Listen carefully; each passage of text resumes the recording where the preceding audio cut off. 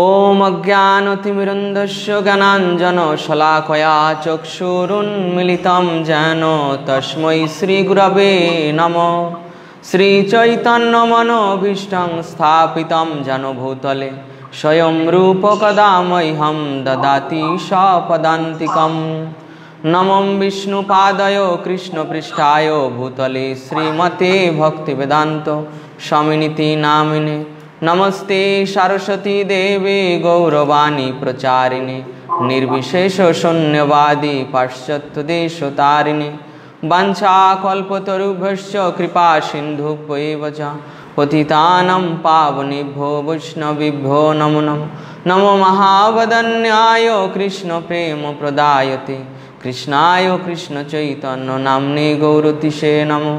হে কৃষ্ণ করুণা সিন্ধ দীনবন্ধ জগৎপতে। গোপেশ গোপিকাকান্ত রাধাকান্ত নমস্তুতে। তপ্ত কাঞ্চন গৌরাঙ্গী রাধে বৃন্দাবনেশ্বরী। বৃষভানুসুতে দেবী প্রণমামি হরিপ্রিয়। জয় শ্রীকৃষ্ণ চৈতন্য প্রভু নিত্যানন্দ। শ্রী অদ্বৈত গদাধর শিবাসাদি গৌর ভক্তবৃন্দ হরে কৃষ্ণ হরে কৃষ্ণ কৃষ্ণ কৃষ্ণ, হরে হরে। হরে রাম হরে রাম রাম রাম, হরে হরে। ভক্তিশাস্ত্রীর চতুর্থ ক্লাসে সমস্ত ভক্তবৃন্দদের স্বাগতম। আমাদের এই ভক্তিশাস্ত্রী ক্লাসের আজ চতুর্থ ক্লাস, চতুর্থ ক্লাসে দ্বিতীয় অধ্যায়ের একাদশ শ্লোক থেকে পঁচিশ নাম্বার শ্লোক পর্যন্ত আমাদের এই ক্লাসটি অনুষ্ঠিত হবে। তো প্রথমেই দ্বিতীয় অধ্যায়ের একাদশ শ্লোক, শ্রী ভগবান উবাচ।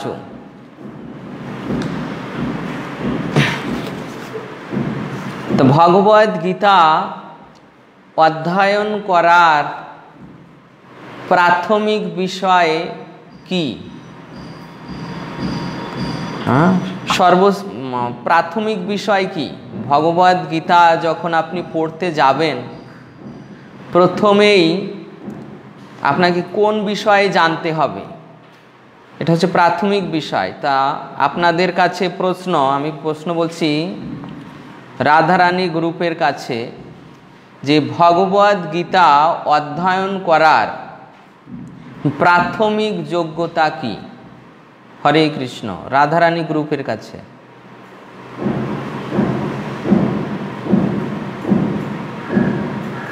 হরে কৃষ্ণ, রাধারানী গ্রুপের কাছে। কৃষ্ণা, কৃষ্ণানন্দ প্রভু বলুন তাহলে, কৃষ্ণানন্দ প্রভু বলুন। প্রথম যদি পড়তে হয়, তাহলে অষ্টম অষ্টম ভাগ করে করে পড়তে হবে। শ্লোক পড়তে গেলে। ওকে ওকে ওকে সাইলেন্ট করুন সাইলেন্ট করুন প্রভু সাইলেন্ট করুন। আর কে বলবেন?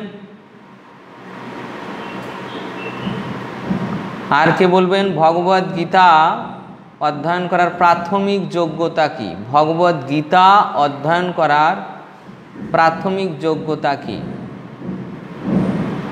কে বলতে পারেন? সমস্ত গ্রুপের মধ্যে।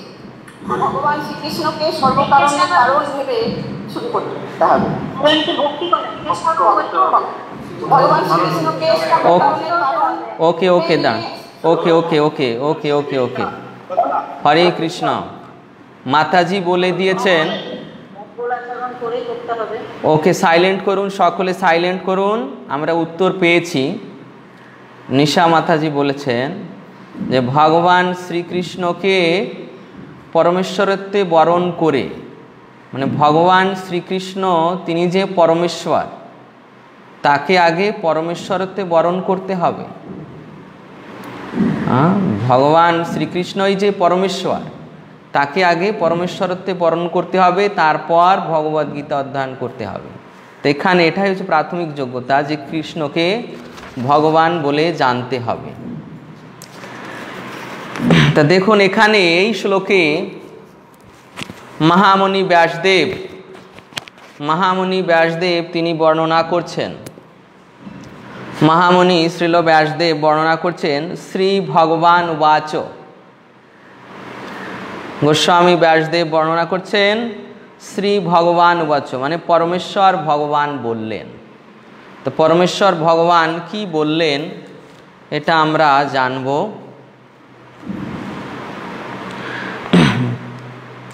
অশোচ্বানন্বশোচস্ত্বম প্রজ্ঞাবাদাংশ্চ ভাষসে। গতাশু ন গতাশংশ্চ নানুশচন্তি পণ্ডিতা। রাধারানী গ্রুপ থেকেই পড়ুন। অনুবাদ।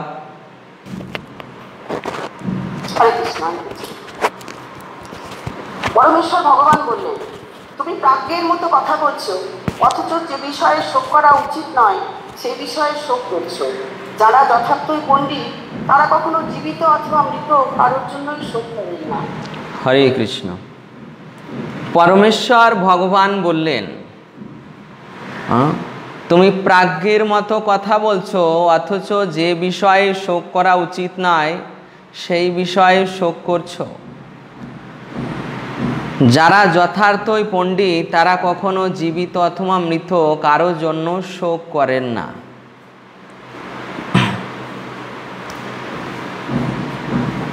মদনমোহন গ্রুপের কাছে প্রশ্ন, মদনমোহন গ্রুপের কাছে।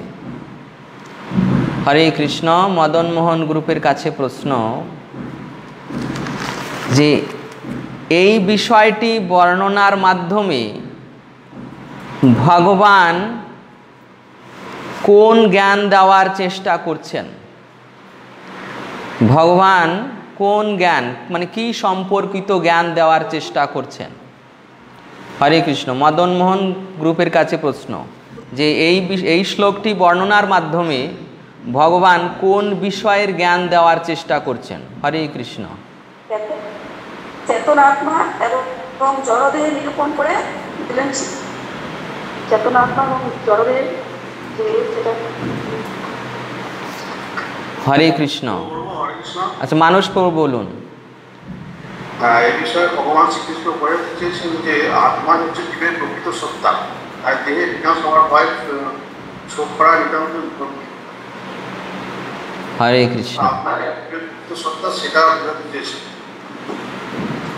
এখানে ভগবান এই আত্মার জ্ঞান আত্মার তত্ত্ব আত্মা কি আত্মার তত্ত্বের উপর এই জ্ঞান প্রদান করার চেষ্টা করছেন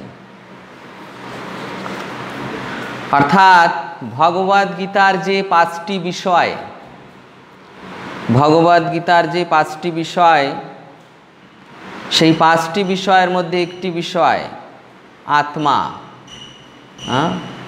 অর্থাৎ জীব, ঈশ্বর জীব, এই যে জীব জীব মানে জীব আত্মা এই জীবাত্মার জ্ঞান প্রদানের জন্য ভগবান এই শ্লোকটি অর্জুনকে বলছেন, আর এর দ্বারা তিনি আমাদের উপদেশ করবেন।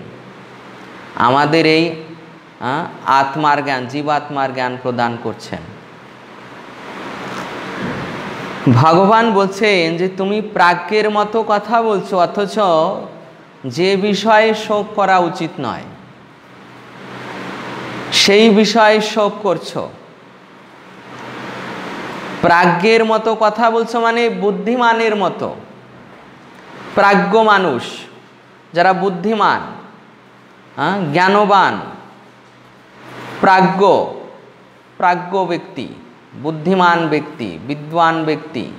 তো বিদ্যান লোকের মতো কথা বলছো, অর্থাৎ এই যে অর্জুন, প্রথম অধ্যায়ে, শেষের দিকে, এই যে রাজবংশের ধন, ধ্বংস প্রবীণদের মৃত্যু হলে কি হবে? তারপর এই অধ্যায়ের প্রথমে এসে তিনি তার গুরুদেব ভগ- ভগবানকে বলছেন যে, এই আমার গুরুদেব দ্রোণাচার্য, পিতামহ ভীষ্মদেব, এদেরকে আমি কীভাবে বধ করব? তুমি কি তোমার গুরুদেব শান্তিপনি মুনি তা- তারপর তোমার যে মধুবংশের, ভোজবংশের যে এই যে উগ্রসেন তাকে কি বধ করতে পারবে? এই যে তুলনা করলেন ভগ- ভগবানের, ভগবানকে, যে, অর্জুনের, অর্জুনকে বধ করতে বলছেন। সেখানে শ্রীকৃষ্ণ কি তার গুরুদেবকে বধ করতে পারবেন? যদি বধ করতে না পারেন, তাহলে কেন তিনি উপদেশ করছেন? এই যে প্রাজ্ঞের মতো কথা বলেছেন অর্জুন। এখন ভগবান বলছেন, তুমি প্রাজ্ঞের মতো কথা বলেছ, বুদ্ধিমানের মতো।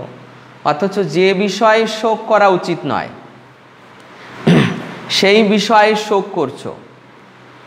তো অর্জুন, কোন বিষয়ে শোক করছে? দেহের বিনাশে। হ্যাঁ দেহাত্ম বুদ্ধি যুক্ত হয়ে শোক করছে। যে আমি এই দেহ এবং আমার দেহের সঙ্গে যারা সম্পর্কিত তারা আমার। আমার আত্মীয় স্বজন, আমার পিতামহ, আমার গুরুদেব, এদেরকে কীভাবে আমি বাণীর দ্বারা বিদ্ধ করব। এই বিষয়ে শোক করছেন। তাই ভগবান বলছেন যে এই বিষয়ে শোক করা উচিত নয়। তুমি কিন্তু সেই বিষয়ে শোক করছ। যারা যথার্থই পণ্ডিত তারা কখনো জীবিত অথবা মৃত কারও জন্য শোক করেন না। জীবিত অথবা মৃত কারও জন্য শোক করেন না। কেন?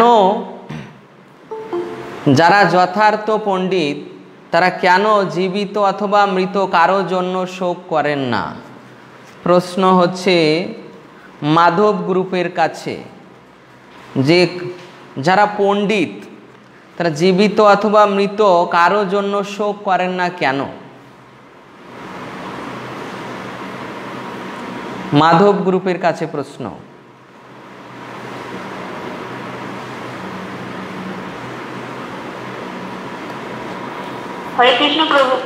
আচ্ছা বলুন। মাধব আপনা মাতাজি আপনি তো মাধব গ্রুপে নন।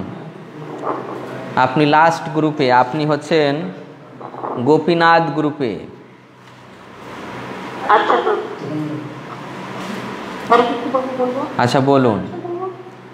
মাধব গ্রুপ থেকে বলুন মীরা মাতাজি। হ্যাঁ আজ প্রাক্তন লোকেরা জানেন যে দেহের বিনাশ হয় কিন্তু আত্মার বিনাশ হয় না। সেই জন্য তারা ওকে ওকে। ওকে আর কে বলতে চেয়েছেন?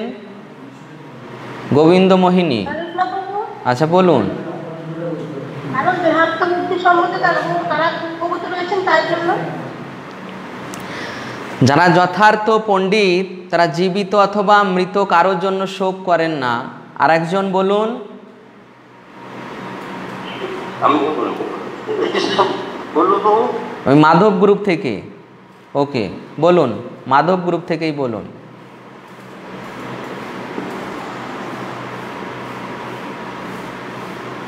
ভগবানের সঙ্গে আমাদের উচ্চ সম্পর্কের কথা মনে করে জীবিত এখানে দেখুন, ভালো করে বুঝুন। যারা যথার্থই পণ্ডিত, তারা কখনো জীবিত অথবা মৃত কারও জন্য শোক করেন না। কেননা, তারা জানেন যে এই আত্মা কখনো মৃত হয় না। আত্মা, যে জীব আত্মা, তার কখনো জন্ম হয় না, তার কখনো মৃত্যু হয় না। যে জীব আত্মা, তার কখনো জন্ম হয় না, তার কখনো মৃত্যু হয় না। জন্ম হয় কার? দেহেরই জন্ম হয়, দেহেরই মৃত্যু হয়। জীব আত্মার জন্ম হয় না, জীব আত্মার মৃত্যু হয় না। হুম? এই যে আত্মা অপরিবর্তনীয়, কেন অপরিবর্তনীয়? জন্ম হতে গেলে দেখা যায় দেখুন, জন্ম হতে জন্ম যখন হয়, তখন দেহ ছোট থাকে। ধীরে ধীরে দেহ বৃদ্ধি প্রাপ্ত হয়ে পূর্ণপ্রাপ্ত প্রাপ- যৌবনকালে পূর্ণতা প্রাপ্ত হয়। আবার যখন বৃদ্ধ অবস্থা হয়, তখন চরাগ্রস্ত হয়, মৃত্যুবরণ করে। তো এই যে সেই একই দেহ বারবার পরিবর্তন হচ্ছে, বারবার পরিবর্তন হচ্ছে। কিন্তু আত্মার কি এই ধরনের পরিবর্তন হয়? আত্মার এই পরিবর্তন হয় না? তো এখানে পণ্ডিত ব্যক্তিরা জানেন যে এই জীব আত্মার আত্মার কখনো জন্ম হয় না, আত্মার কখনো মৃত্যু হয় না। ঠিক ভগবানের মতো। ভগবানের যেমন কখনো জন্ম হয় না, ভগবানের কখনো মৃত্যু হয় না, তেমনি জীবাত্মারও কখনো জন্ম হয় না, জীবাত্মারও কখনো মৃত্যু হয় না। কিন্তু জীবাত্মা এখানে এই জগতে সে আবদ্ধ হয়ে যায়।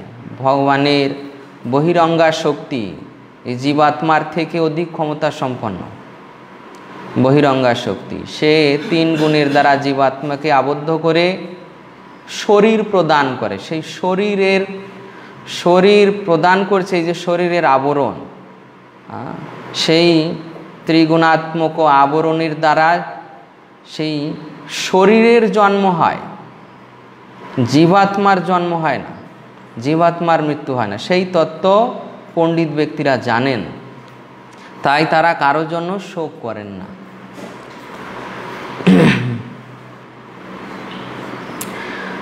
তাৎপর্যের সপ্তম লাইনে দেখুন।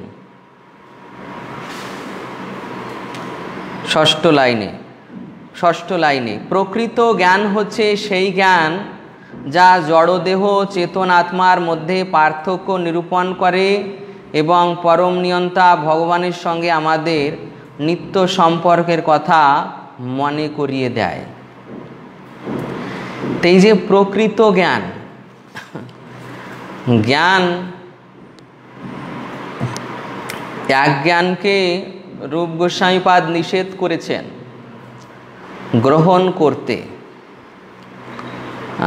যারা যারা আমরা ভক্তিশাস্ত্রী কোর্সে আপনারা পাবেন, সেখানে বলা হয়েছে যে উত্তম ভক্তির সংজ্ঞায়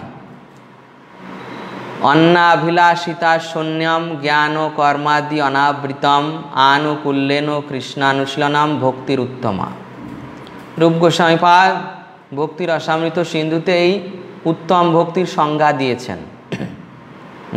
অন্নাভিলাষিতা শূন্যম জ্ঞান ও কর্মাদি অনাবৃতম আনুকূল্যেন কৃষ্ণানুশীলনম ভক্তির উত্তমা অর্থাৎ উত্তম ভক্তি হচ্ছে এই অদ্বৈতবাদী জ্ঞান থেকে মুক্ত। অদ্বৈতবাদী জ্ঞান থেকে মুক্ত।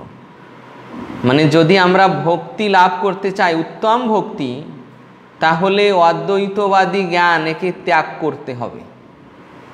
অদ্বৈতবাদী জ্ঞানের প্রয়াস করা যাবে না।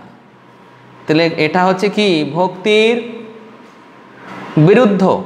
শুদ্ধ ভক্তির বিরুদ্ধ, অতএব যা শুদ্ধ ভক্তির বিরুদ্ধ তা বর্জন করতে হবে। তো অদ্বৈতবাদী জ্ঞান মানে যারা এই রকম অদ্বৈতবাদী সম্প্রদায় রয়েছে, তারা মনে করে কি? যে জীব এবং ঈশ্বর এক। জীব এবং ঈশ্বর এক। এই হচ্ছে অদ্বৈতবাদী জ্ঞান। জীব এবং ঈশ্বর এক।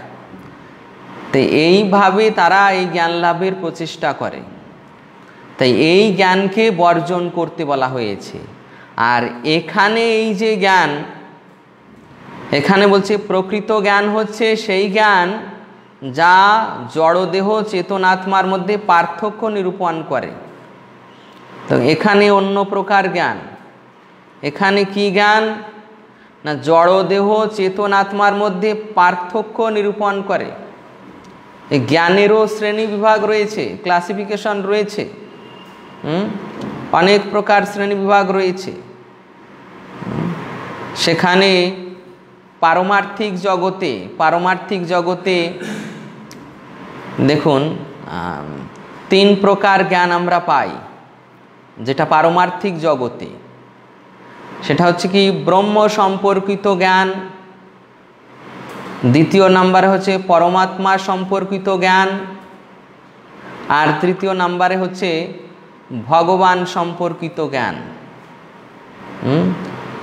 ব্রহ্মের জ্ঞান, দুই পরমাত্মা সম্পর্কিত জ্ঞান, তিন ভগবান সম্বন্ধীয় জ্ঞান। তো এই যে ভগবান সম্বন্ধীয় জ্ঞান, ভগবান সম্বন্ধীয় জ্ঞান সেই ভগবান সম্বন্ধীয় জ্ঞানে সেখানে কৃষ্ণ তত্ত্ব বিজ্ঞান কৃষ্ণ তত্ত্ব ভক্তি তত্ত্ব তারপর পরমাত্মা সম্বন্ধীয় জ্ঞানে সেখানে জীবাত্মা, পরমাত্মা তারপর এই যে অষ্টাঙ্গ যোগ অষ্টাঙ্গ যোগ কীভাবে আপনি অষ্টাঙ্গ যোগে সমাধি অবস্থায় পৌঁছাতে পারবেন সেই রকম জ্ঞান। আর ব্রহ্ম সম্বন্ধীয় জ্ঞান, সেটা হচ্ছে যেই ব্রহ্ম কি ব্রহ্মকে কীভাবে নির্ণয় করতে হয়। তো এখানে এই যে জ্ঞানের কথা বলা হয়েছে, যে জড় দেহ চেতন আত্মা এই জ্ঞানটি এই তিন শ্রেণির উভয়ের রয়েছে। ব্রহ্ম, পরমাত্মা, ভগবান তিন শ্রেণীরই রয়েছে এই জ্ঞানটি। যে জড় দেহ চেতন তা জড় দেহ, অর্থাৎ আমাদের যে জড় দেহ এবং চেতনাত্মা, যে চেতনাত্মা হৃদ্দেশে বিরাজমান, হৃদ্দেশে অর্জুন অতিষ্ঠতি, ভগবদ্গীতার শ্লোকে রয়েছে। যেই আত্মা হৃদ্দেশে অবস্থান করছে। তো এই জড় দেহ এবং চেতন আত্মার মধ্যে পার্থক্য নিরূপণকারী জ্ঞান। এ জ্ঞান আমাদের প্রয়োজন রয়েছে। কেননা এই পাঁচটি তত্ত্বের, পাঁচটি তত্ত্ব মানে ঈশ্বর, জীব, প্রকৃতি, কাল, কর্ম। এই পাঁচটি তত্ত্বের, এই জীব, জীবাত্মাকে জানতে হলে এই জড় দেহ চেতনাত্মা এই সম্পর্কে এটা প্রথমেই জানতে হবে যে আমরা কি হ্যাঁ, আমরা কি? অর্থাৎ ব্রহ্ম জিজ্ঞাসার প্রথম প্রশ্ন যে আমি কে? আমি কে? সনাতন গোস্বামী মহাপ্রভুর কাছে প্রশ্ন করেছিলেন আমি কে? তো মহাপ্রভু উত্তর দিয়েছিলেন, জীবের স্বরূপ হয় কৃষ্ণের নিত্য দাস কৃষ্ণের তটস্থ শক্তি ভেদাভেদ প্রকাশ। তো এই হচ্ছে আমার পরিচয়। তা যখন আমি এই পরিচয় পাবো আমি কে যে আমি কৃষ্ণের নিত্য দাস আর এখানে তো সেই স্তরে পৌঁছাতে গেলে আগে জানতে হবে যে আমি জড় দেহ নই, আমি চেতন আত্মা। তা আমি চেতন আত্মা, আমি কার থেকে এলাম? সে হচ্ছে কৃষ্ণ। তাই মহাপ্রভু একসঙ্গে বললেন, আমি কৃষ্ণের দাস।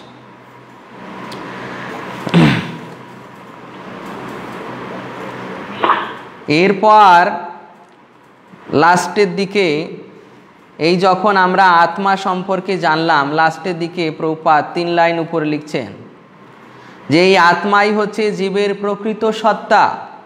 তাই দেহের বিনাশ হবার ভয়ে শোক করা নিতান্তই মূর্খতা।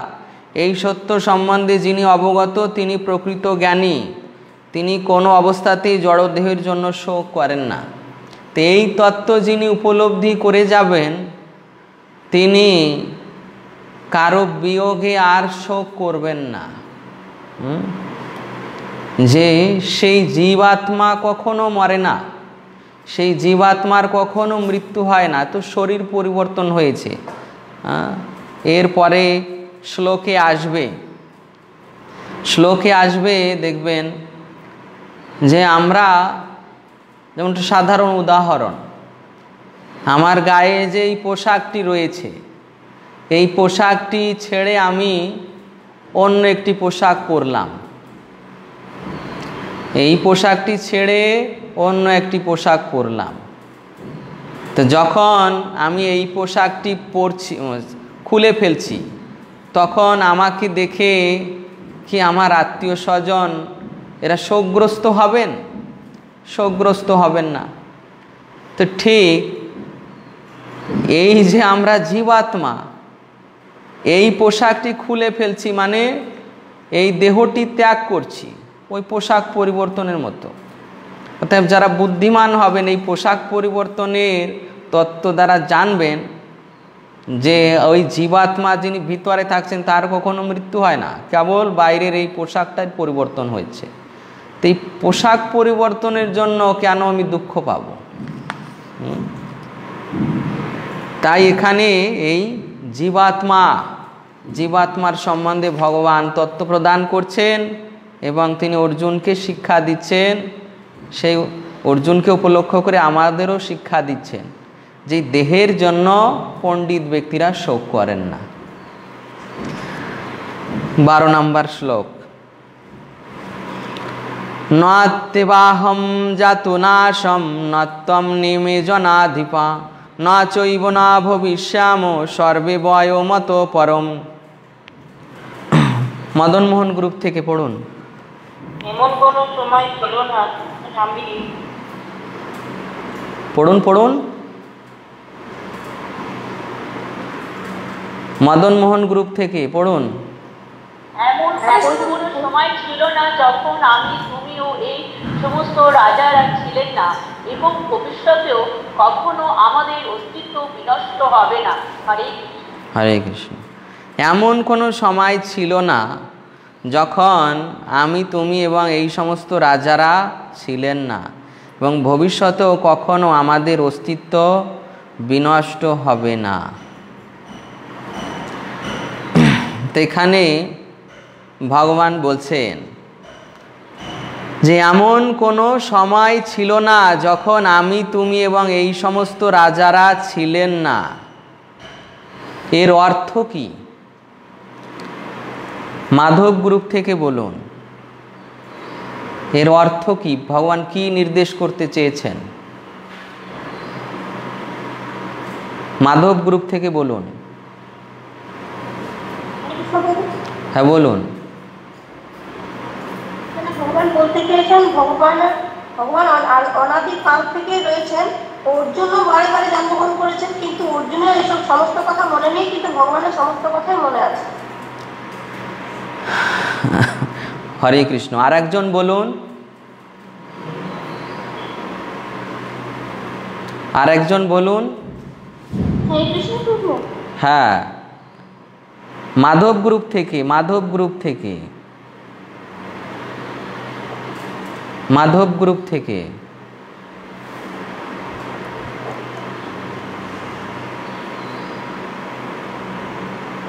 মাধব গ্রুপ থেকে পারবেন না। ঠিক আছে নিত্যানন্দ গ্রুপ থেকে বলুন। আচ্ছা বলুন। বাবুজি এখানে ভগবান বলতে চাইছেন যে আত্মার যে মানে এক্সিস্টেন্স সেটা সেটা সনাতন। ওকে ওকে।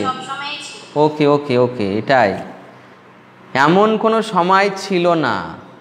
আমি তুমি এবং এই রাজারা। মানে এই যে যদি মনে করুন এখানে শ্রীকৃষ্ণকে আপনি আত্মাই মনে করছেন, আত্মা। অর্জুনের আত্মা, শ্রীকৃষ্ণের আত্মা বা রাজাদের আত্মা। তো এই আত্মার ধারণার বিষয় যেহেতু বলছেন ভগবান, তাই বলছেন যে এমন কোনো সময় ছিল না যে আমার আত্মা, তোমার আত্মা বা এই রাজাদের আত্মা হ্যাঁ এরা ছিল না। এমন কোনো সময় ছিল না যে এরা ছিলেন না। মানে এরা সকলে ছিলেন। এরা সব সময় ছিলেন। এই আত্মারূপে সব সময় ছিলেন।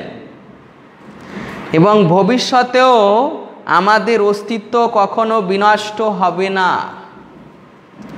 এই ভবিষ্যতেও এই যে যে সনাতন আত্মা সনাতন আত্মা, প্রত্যেক জীবের সনাতন আত্মা তাকে কেউ নষ্ট করতে পারে না। এই সনাতন আত্মাকে কেউ নষ্ট করতে পারে না। অর্থাৎ ভবিষ্যতেও কখনো আমাদের অস্তিত্ব বিনষ্ট হবে না। তো এই যে সনাতন আত্মা কখনো নষ্ট হবে না, সেটাই বলতে চেয়েছেন।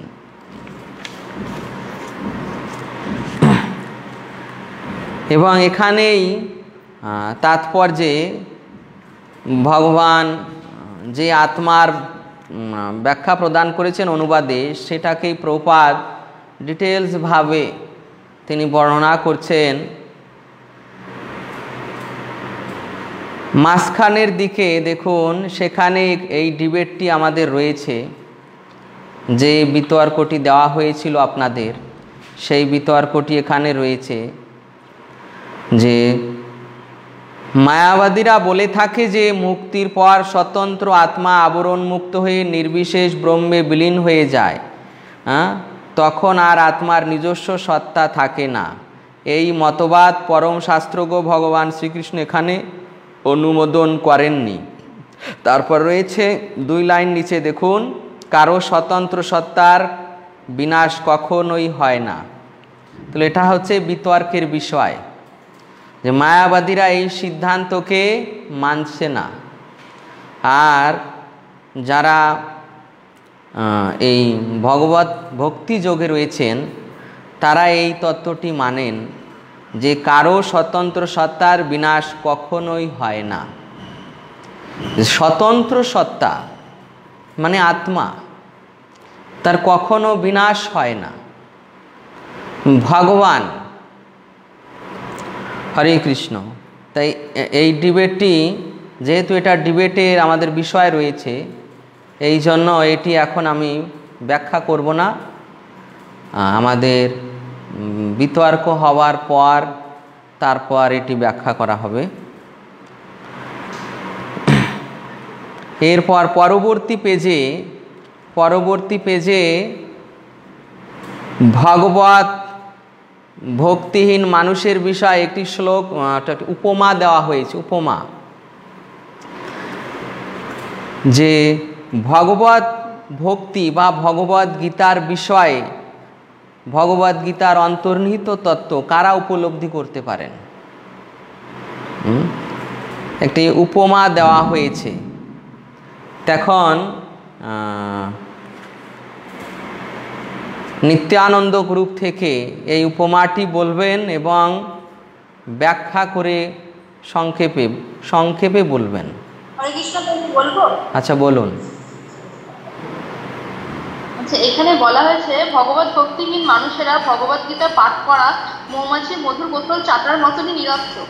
বোতল না খুললে যেমন মধুর স্বাদ পাওয়া যায় না তেমনি ভগবানের ভক্ত না হলে ভগবত গীতার অন্তর্নিহিত তত্ত্ব উপলব্ধি করা যায়। ওকে হ্যাঁ এখন এর থেকে আপনি আমাদের বুঝিয়ে বলুন কি কি সিদ্ধান্ত দেওয়া হয়েছে। যেমন মধুর মধুর যে স্বাদ সেটা গ্রহণ করার জন্য মধুর বোতলটা খুলে তার সেটা খেতে হবে টেস্ট করতে হবে। তবেই আমরা জানতে পারব মধু মিষ্টি টক না ঝাল কীরকম তার স্বাদ। তেমনি ভগবান ভগবান কীরকম? ভগবানের ভগবানের স্বর সেটা বোঝার জন্য আমাদেরকে ভগবানের ভক্ত হতে হবে। একমাত্র ভগবানের ভক্ত হলে এবং তার যে পূর্ণ শরণাগত হলেই ভগবানকে ভগবান নিজেকে তার কাছে প্রকাশিত করে। তবেই আমরা ভগবান সম্বন্ধে জানতে পারব নইলে কখনোই সম্ভব ওকে কোনো শ্লোকের প্রমাণ দিতে পারবেন? কোনো শ্লোকের প্রমাণ?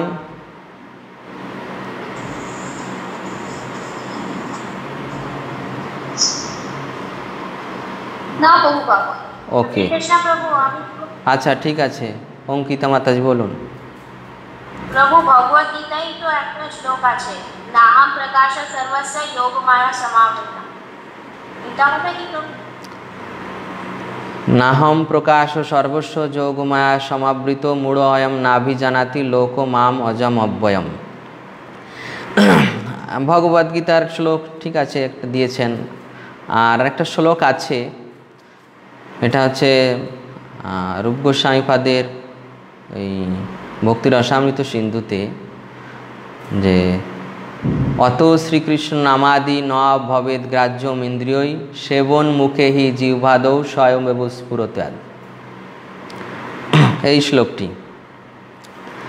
এখানে মাতাজি যেটা ব্যাখ্যা করেছেন বৈশাখী মাতাজি, যে ভগবত ভক্তিহীন মানুষের গীতা পাঠ করা, মৌমাছির বোতল চাটার মতোই নিরর্থক। মনে করুন কাচের বোতলে কাচের বোতলে কি মধু রয়েছে? বোতলের ছিপিটা খোলা হলো না, বাইরে থেকে আপনি চাটলেন। বাইরে থেকে চাটলেন, কি স্বাদ পাবেন? বাইরে থেকে চাটলেন, কি স্বাদ পাবেন? ওই যে ভিতরের মধ্যে ভিতরেই থেকে যাবে, স্বাদ আর পাওয়া যাবে না। যেমন যেমন দেখুন, এই যে উট উট করে কি কাটা ঘাস চিবায়?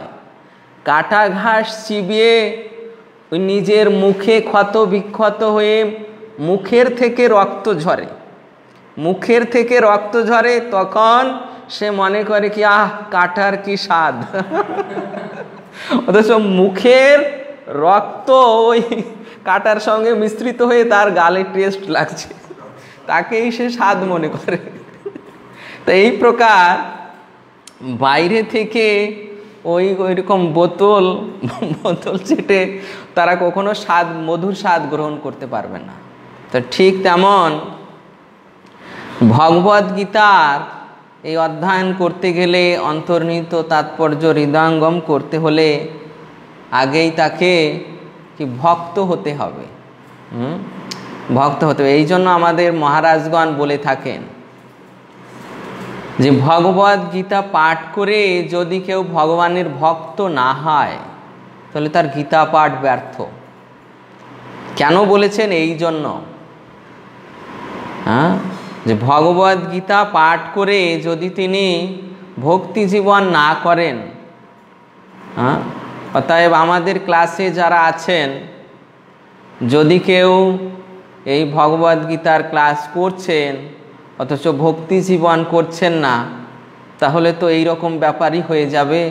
অতএব যারা যারা ভক্তি জীবনে নেই, তাদের রিকোয়েস্ট করা হবে যে আপনারা অন্তত এই বিষয়টি, এই তত্ত্বটা অবগত হয়ে ভক্তি জীবনে যুক্ত হবেন, তাহলেই এই তত্ত্বগুলো উপলব্ধি করতে পারবেন। তাহলেই ভগবদ্গীতার অন্তর্নিহিত তত্ত্ব উপলব্ধি করতে পারবেন। হরে কৃষ্ণ। অতএব ভগবদ গীতা পাঠ করতে গেলে আপনাকে ভক্ত হতে হবে। হ্যাঁ? যখন ভক্ত হবেন, তখনই এর অন্তর্নিহিত তত্ত্ব উপলব্ধি করতে পারবেন।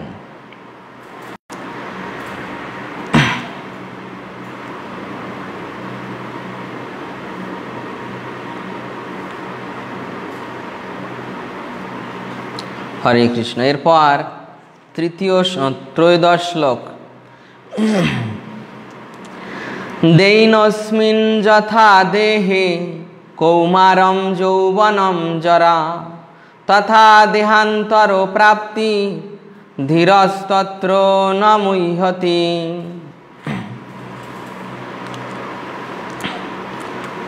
মাধব গ্রুপ থেকে পড়ুন একজন মাধব গ্রুপ থেকে পড়ুন দেবী দেবীর দেহ যেভাবে কৌমার যৌবন ও জরার মাধ্যমে তার রূপ পরিবর্তন করে চলে। মৃত্যুকালে তেমনি ওই দেবী অর্থাৎ আত্মা এক দেহ থেকে অন্য কোনো দেহে দেহান্তরিত হয়। স্থিতপজ্ঞ পণ্ডিতেরা কখনো এই পরিবর্তনে মুহ্যমান হন না। ওকে। হরে কৃষ্ণ, যারা যারা তাৎপর্য পড়েছেন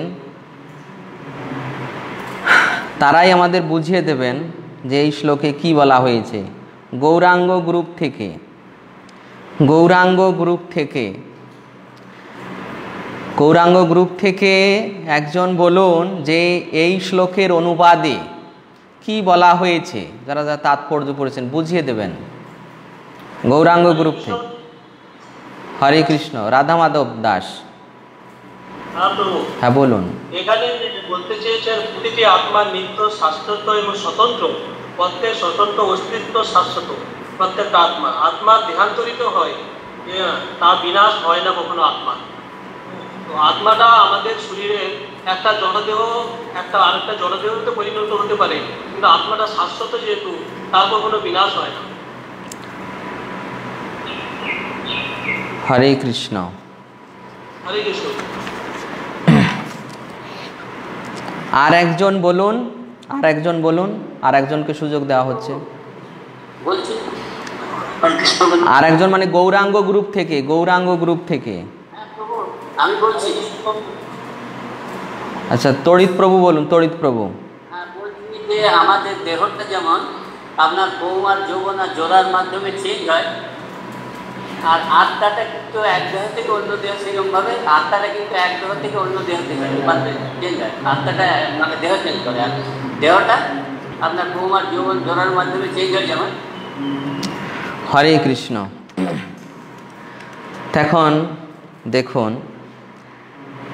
দেহির দেহ, ব্যাখ্যাটা আমি এইভাবে করতে বলেছিলাম, দেহির দেহ। দেহির দেহ মানে দেহির দেহ মানে কি?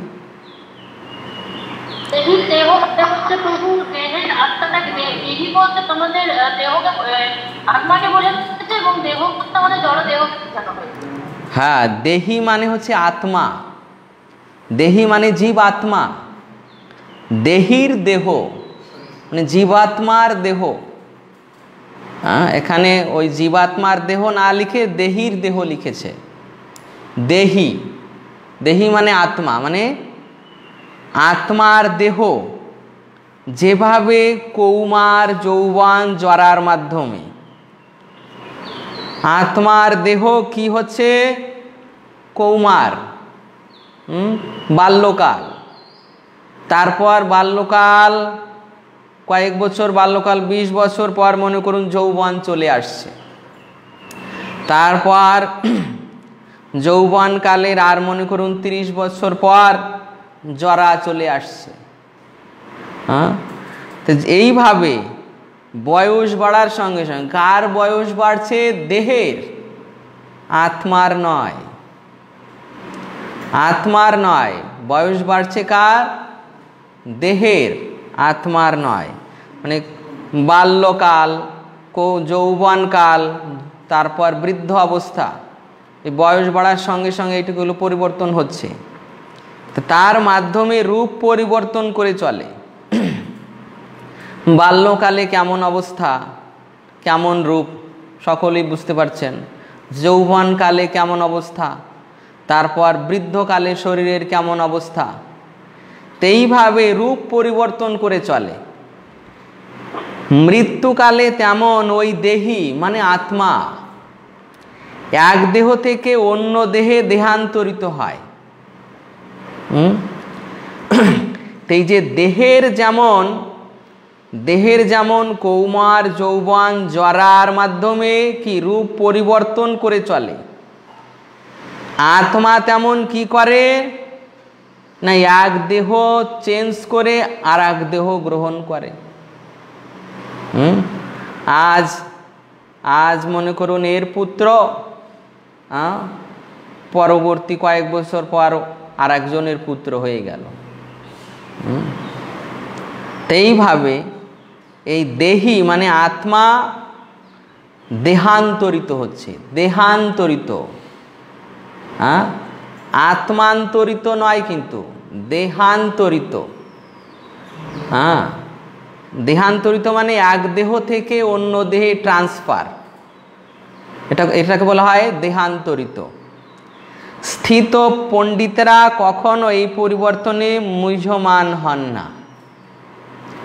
যারা স্থিত প্রজ্ঞ পণ্ডিত, বুদ্ধিমান, তারা কখনো এই পরিবর্তনে মুহ্যমান হন না।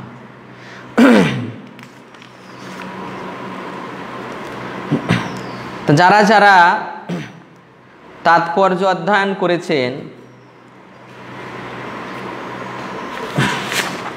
গোবিন্দ গ্রুপের কাছে প্রশ্ন। গোবিন্দ গ্রুপের কাছে প্রশ্ন যে, এই যে দেহান্তর, আত্মার এই যে দেহান্তর, এটা কিসের উপর নির্ভর করে? আত্মার এই দেহান্তর এটা কিসের উপর নির্ভর করে? হরে কৃষ্ণ। গোবিন্দ গ্রুপের কাছে প্রশ্ন- আচ্ছা বলুন। বলুন। হরে কৃষ্ণ প্রভু বলব? হ্যাঁ বলুন। হ্যাঁ আত্মার এই দেহান্তর নির্ভর করে কর্মফলের উপর। কর্মফলের জন্যই আত্মাটা বিভিন্ন রকমের দেহ ধারণ করে। ওকে। অর্থাৎ পূর্বকৃত কর্মফলের উপর পূর্বকৃত কর্মফলের উপর। পূর্বকৃত কর্মফল। মানে এই পূর্বকৃত কর্মফল সেটা আপনার এই জন্মেরও হতে পারে, পরবর্তী জন্মেরও হতে পারে। তবে স্বাভাবিকভাবে সাধারণ নিয়ম অনুযায়ী এই জন্মের এই জন্মের মানে এই জন্মের বাল্য যেখান থেকে এই পাপ বা কর্মফল কাউন্টিং হয়েছে, সেখান থেকে আপনি কি প্রকার কর্ম করে আসছেন? যেখান থেকে গণনা শুরু হয়েছে। মনে করুন একটা নির্দিষ্ট সময় পর বাল্যকালে তো পাপ, অপরাধ গণনা হয় না। পরবর্তীতে যে যেখান থেকে শুরু হচ্ছে, সেই সেখান থেকে আপনার আপনি কি রকম কর্ম করে আসছেন, কি রকম অপরাধ করে আসছেন, সেই অপরাধের জন্য আপনার পরবর্তীতে জন্ম লাভ হবে পরবর্তীতে সেই কর্মের ফল অনুযায়ী আপনাকে জন্মগ্রহণ করতে হবে।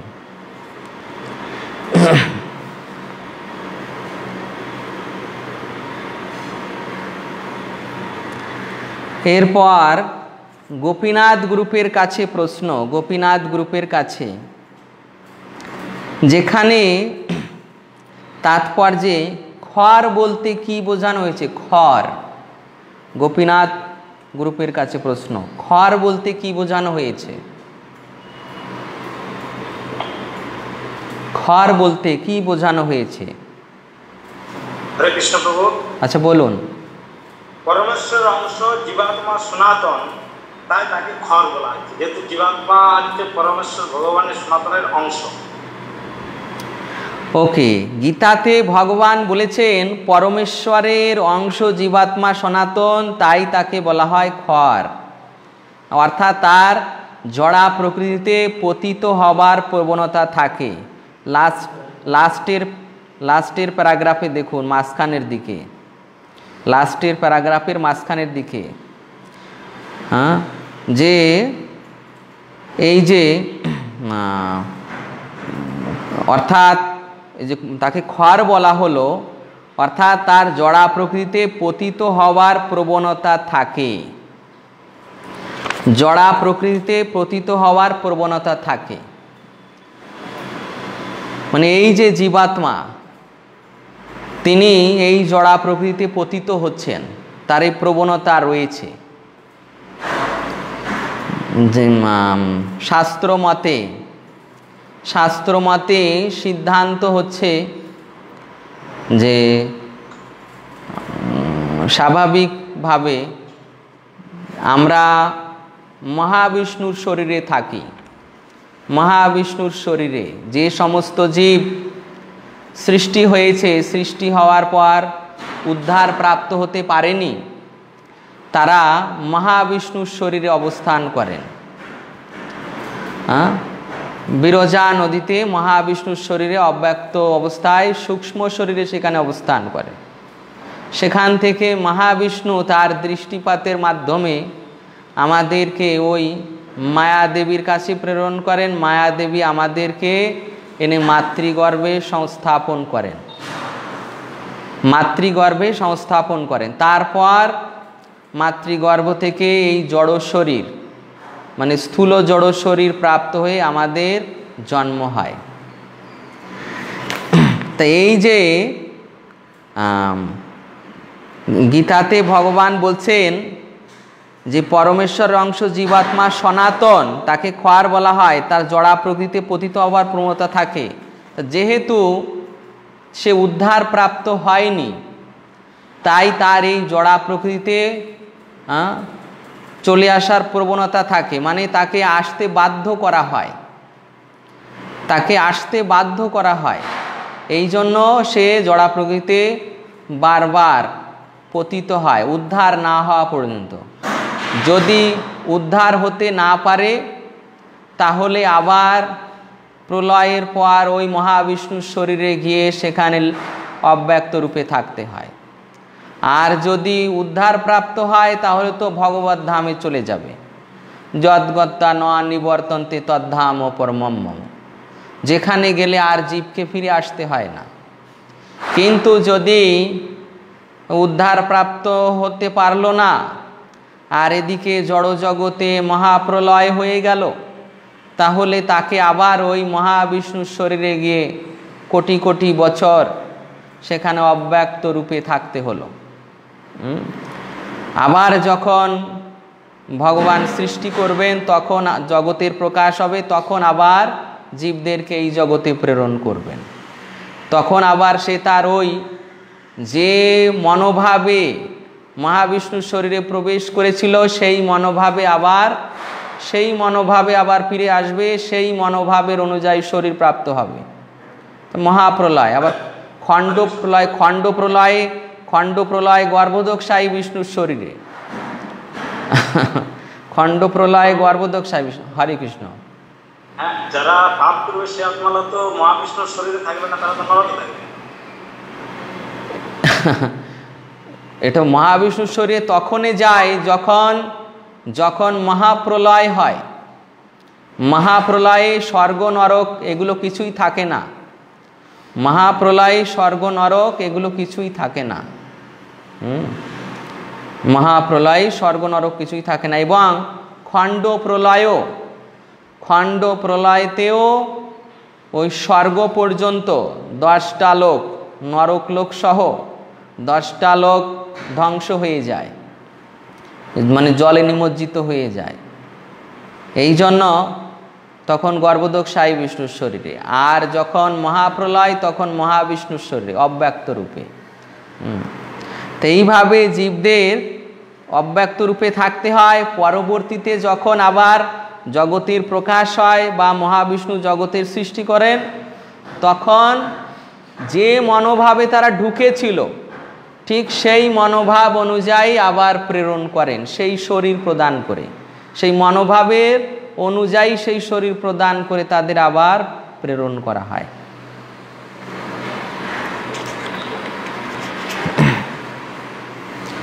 হরে কৃষ্ণ দেখুন, এর পরবর্তীতে পরবর্তীতে অর্থাৎ ওই খর যেখানে বর্ণন করা হয়েছে খরের বিষয়, তার নিচেই দেখুন, জীবাত্মা পরমাত্মার অংশ।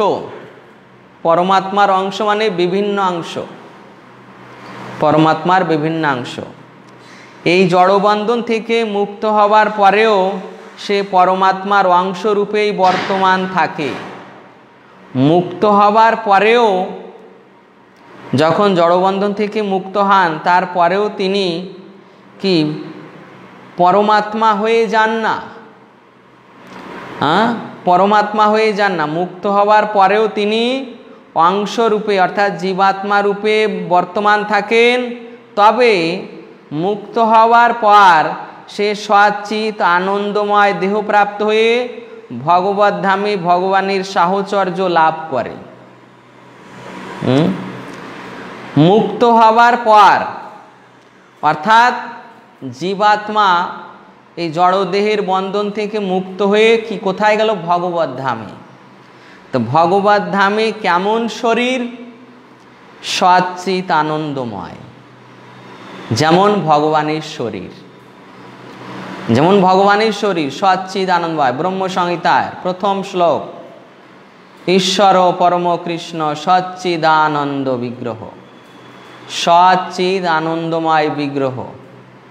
তো সেই শ্রীকৃষ্ণের, অর্থাৎ গোবিন্দেরও সচ্চিদানন্দময় বিগ্রহ এবং তার যে ভক্ত, তার যে পরিকর, সেখানে বর্তমান তাদেরও সচ্চিদানন্দময় বিগ্রহ। হুম? তো এইভাবে মুক্ত হবার পর ভক্তরাও সেই সচ্চিদানন্দময় দেহ প্রাপ্ত হয়ে থাকেন। তবে সেখানে স্ত্রী রয়েছে, তারপর পুরুষ রয়েছে তারপর বালক বালিকা রয়েছে এই রকম বিচিত্রতা রয়েছে। কেননা সেই ভাব অনুযায়ী তারা শরীর প্রাপ্ত হয়েছেন এবং সেই শরীরগুলোও সচ্ছিদ আনন্দময় হ্যাঁ ভগবানের লীলাবিলাসের সহায়ককারী। এরপর চতুর্দশ শ্লোক। মাত্রা স্পর্শাস্তু কন্তেয় শীতোষ্ণ সুখ দুঃখদা আগমা পাইন নিত্যাং স্তাং তিতিক্ষস্য ভারত। পড়ুন গৌরাঙ্গ গ্রুপ থেকে পড়ুন।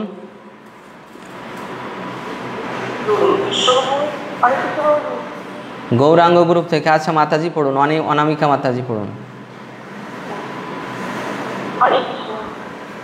হে কুন্তেও ইন্দ্রিয়ের সঙ্গে বিষয়ের সংযোগের ফলে অনিত্য সুখ ও দুঃখের অনুভব হয়।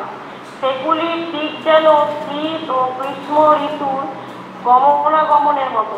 হে ভরপুর প্রদীপ সেই ইন্দ্রিয়জাত অনুভূতির দ্বারা প্রভাবিত না হয়ে সেগুলি সহ্য করার চেষ্টা করে। হরে কৃষ্ণ।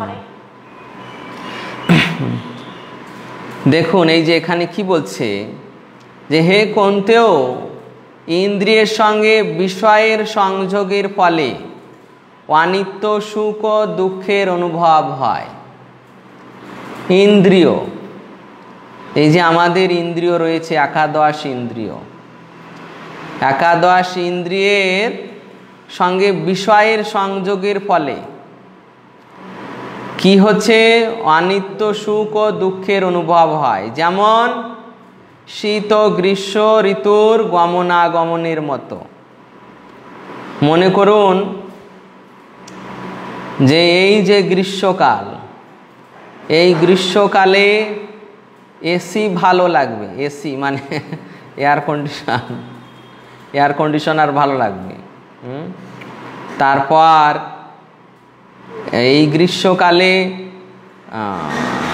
ফ্রিজের জল ভালো লাগবে।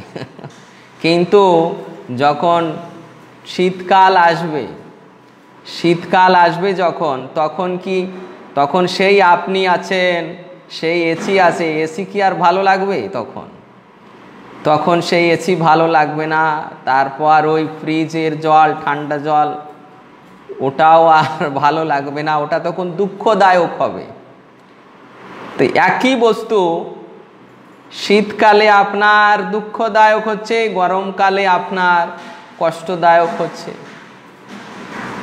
তো এটাই বোঝাতে চাচ্ছেন ভগবান হ্যাঁ? যে এই যে যাকে এখন, এই যে ইন্দ্রিয়ের বিষয়, যাকে এখন তুমি সুখ মনে করছ, কালের পরিবর্তনে সেটা দুঃখে রূপান্তরিত হবে। আজকে যাকে দুঃখ মনে করছ, কালের পরিবর্তনে সেটা সুখে রূপান্তরিত হবে। তো এটা ঠিক শীত এবং গ্রীষ্ম ঋতুর গমনাগমনের মতো। অতএব এই যে ইন্দ্রিয়জাত অনুভূতির দ্বারা প্রভাবিত না হয়ে সেগুলি সহ্য করার চেষ্টা করো। ইন্দ্রিয়জাত ইন্দ্রিয়জাত অনুভূতির মানে এই একাদশ ইন্দ্রিয়, কোনোটা মনের পক্ষে আপনার সুখকর, কোনোটা মনের পক্ষে দুঃখকর। তো এই যে ইন্দ্রিয়জাত অনুভূতির দ্বারা প্রভাবিত না হয়ে সেগুলো সহ্য করার চেষ্টা করো। অর্থাৎ এই ইন্দ্রিয়জাত সুখ দুঃখে অবিচলিত থাকো, বিচলিত হইও না। এইভাবে ভগবান এখানে আমাদের নির্দেশ করছেন।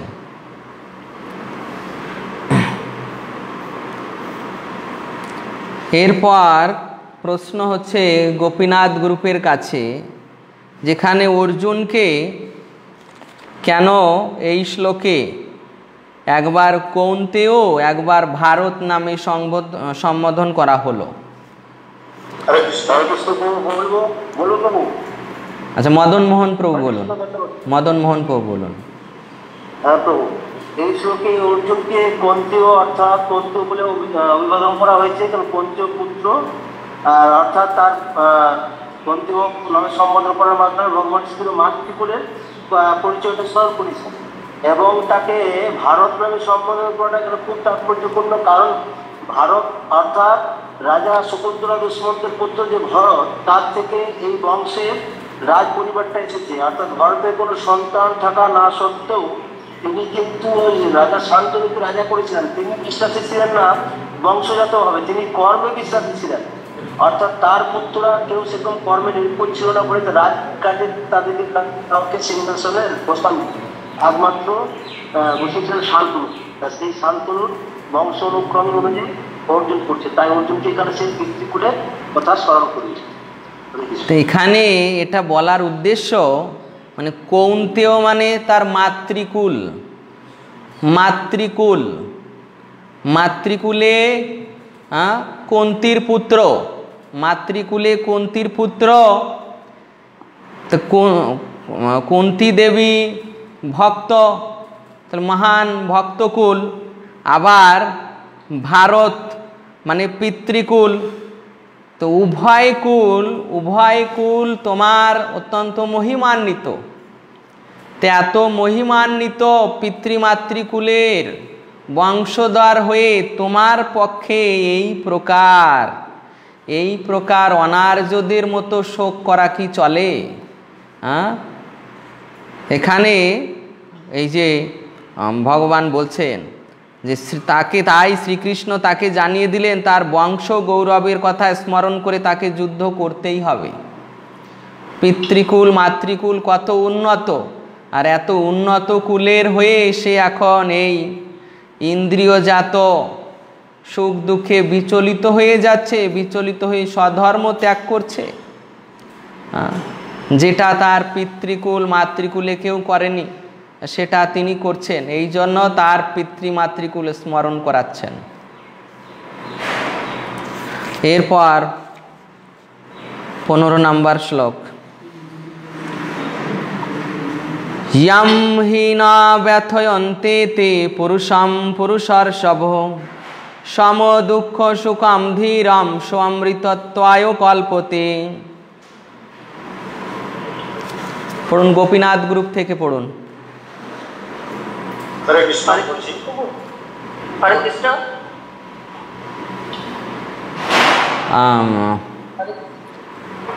আচ্ছা আচ্ছা এই সর্বাণী নামে সর্বাণী নামে কি আছেন? সর্বাণী নামে তিনি পড়ুন। আচ্ছা পড়ুন। যে পুরুষ শ্রেষ্ঠ যে জ্ঞানী ব্যক্তি সুখ ও দুঃখকে সমান জ্ঞান করেন শীত ও উষ্ণ আদি দ্বন্দ্বে বিচলিত হন না। তিনি মুক্তি লাভের প্রকৃত অধিকারী। হরে কৃষ্ণ। এখানে ভগবান বলছেন হে পুরুষ শ্রেষ্ঠ অর্জুন যে জ্ঞানী ব্যক্তি সুখ ও দুঃখকে সমান জ্ঞান করেন শীত ও উষ্ণ আদি দ্বন্দ্বে বিচলিত হন না। তিনি মুক্তি লাভের অধিকারী। হরে কৃষ্ণ, যারা তাৎপর্য পড়েছেন তাৎপর্য পড়েছেন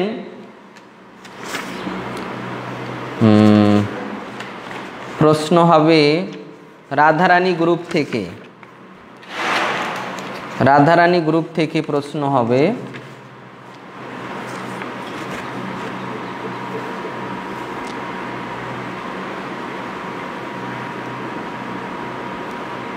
যে এই যে ভগবান এখানে অনুবাদে যে বিষয়টি বর্ণন করলেন, অনুবাদে যে বিষয়টি বর্ণন করলেন, প্রভুপাদ প্রভুপাদ এটিকে বোঝাতে গিয়ে এই এই যে সন্ন্যাস আশ্রমের কথা সন্ন্যাস আশ্রমের কথা লিখে পরবর্তীতে সন্ন্যাস আশ্রমের কথা লিখে আরেকটি উপমা দিয়ে বোঝাচ্ছেন।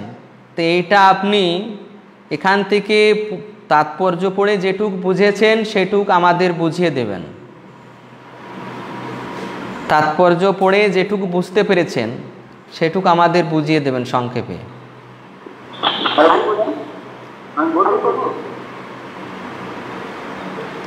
আচ্ছা নিশা মাতাজি বলুন, নিশা মাতাজি বলুন।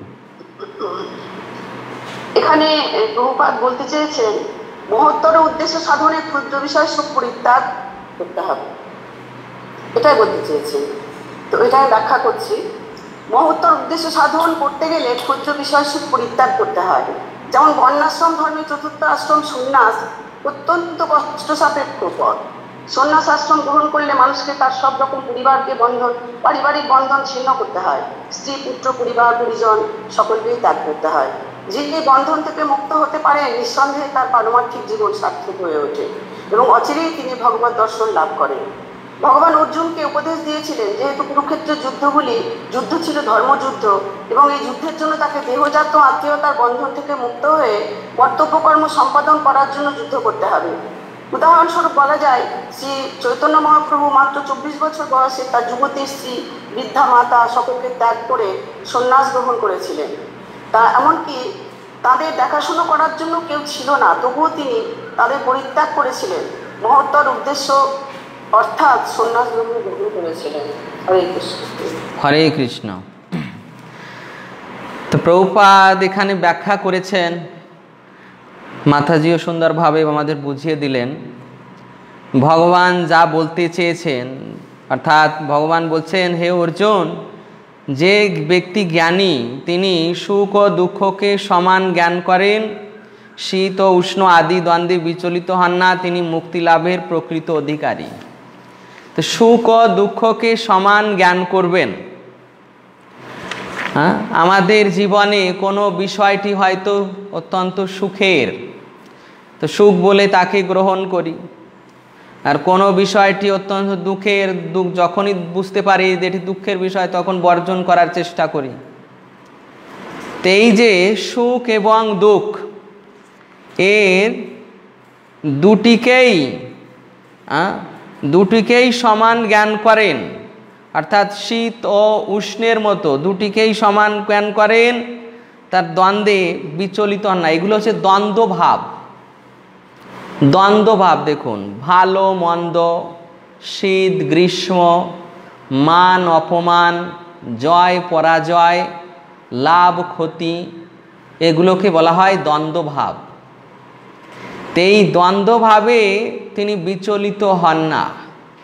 তিনি পরমার্থ লাভের চেষ্টা করেন, পরমার্থ লাভের চেষ্টার জন্য। আর সেই পরমার্থ লাভের চেষ্টায় যদি দ্বন্দ্বভাবও চলে আসে তথাপি মহত্তর উদ্দেশ্য সাধন করার জন্য তিনি তা পরিত্যাগ করেন। মহত্তর উদ্দেশ্য মহত্তর উদ্দেশ্য। জানতে হবে যে আমাদের জীবনে মহত্তর উদ্দেশ্য কি? মহত্তর উদ্দেশ্য, দেখুন, এখানে মহাপ্রভুর উদাহরণ দেওয়া হয়েছে। মহাপ্রভু মহত্তর উদ্দেশ্যে, অর্থাৎ জগৎ উদ্ধারের জন্য, হরিনাম সংকীর্তন প্রচারের জন্য সদ্ধর্ম সংস্থাপনের জন্য ভক্তিযোগের পুনঃপ্রতিষ্ঠার জন্য, তিনি জগৎগুরু রূপে জগৎবাসীকে শিক্ষা দেওয়ার জন্য এই সন্ন্যাস আশ্রম গ্রহণ করেছিলেন। তো মহত্তর উদ্দেশ্যর জন্য নিজের যে ক্ষুদ্র সুখ, সে সংসার জীবনে স্ত্রী পুত্র নিয়ে থাকা। এই ক্ষুদ্রতর সুখকে বিসর্জন দিয়েছিলেন। ওই যে দ্বন্দ্বভাব, সুখ, দুঃখ, ওটা তিনি বিচলিত হননি। তাই আমাদেরও এই রকম শিক্ষা দিচ্ছেন যে মহত্তর উদ্দেশ্যের জন্য, অর্থাৎ পারমার্থিক জীবনে পারমার্থিক জীবনে উন্নীত হওয়ার জন্য, কৃষ্ণ ভক্তি লাভ করার জন্য এই প্রকার সুখ, দুঃখে, অর্থাৎ দ্বন্দ্বভাবে বিচলিত না হওয়ার।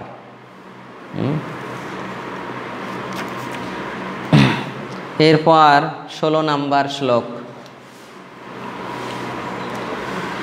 না শত বিদ্যতে ভাব, না ভাব বিদ্যতে শত।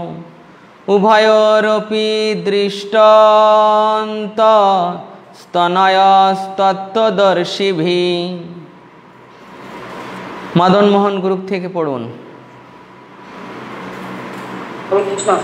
যারা তত্ত্বদ্রষ্টা তারা সিদ্ধান্ত করেছেন যে অনিত্য জড়বস্তুর স্থায়িত্ব নেই এবং নিত্যবস্তু আত্মার কখনো বিনাশ হয় না। তারা উভয় প্রকৃতি যথার্থ স্বরূপ উপলব্ধি করে এই সিদ্ধান্তে উপনীত হয়েছেন। হরে যারা তত্ত্বদ্রষ্টা তারা সিদ্ধান্ত করেছেন যে অনিত্য জড়বস্তুর স্থায়িত্ব নেই। নিত্য বস্তুর আত্মার কখনো বিনাশ হয় না। তারা উভয় প্রকৃতি যথার্থ স্বরূপ উপলব্ধি করে এই সিদ্ধান্তে উপনীত হয়েছেন।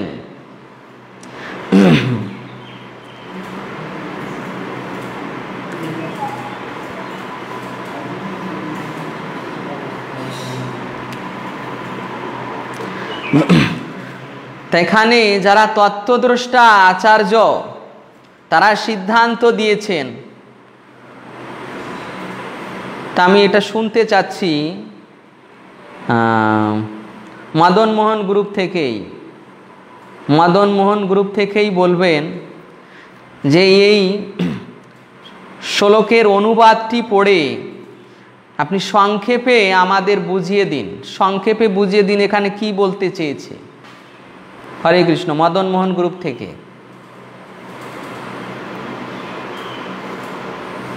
মদন মোহন গ্রুপ থেকে সংক্ষেপে বুঝিয়ে দিন। ও বলব? আচ্ছা বলুন। যেসব ব্যক্তিরা ব্যক্তি তারা দেখেছেন যে এই নানা প্রক্রিয়ার মাধ্যমে পরিবর্তন হয় সেটা স্থায়ী অস্থায়ী। এবং আত্মা যেটা আত্মার বিনাশ হয়। সেই জন্য হচ্ছে দেহ প্রকৃতি হচ্ছে চির পরিবর্তনশীল আর আত্মা হচ্ছে চির শাশ্বত সনাতন। এটাই তত্ত্বদৃষ্টি যারা তত্ত্বদষ্টা তারা হচ্ছে এটা উপলব্ধি করেছে। এবং সেটা নির্বিশেষবাদী মূলবাদী তারাও স্বীকার করেছে। ওকে হরে কৃষ্ণ। আর একজনকে সুযোগ দেওয়া হচ্ছে। আর একজন বলুন।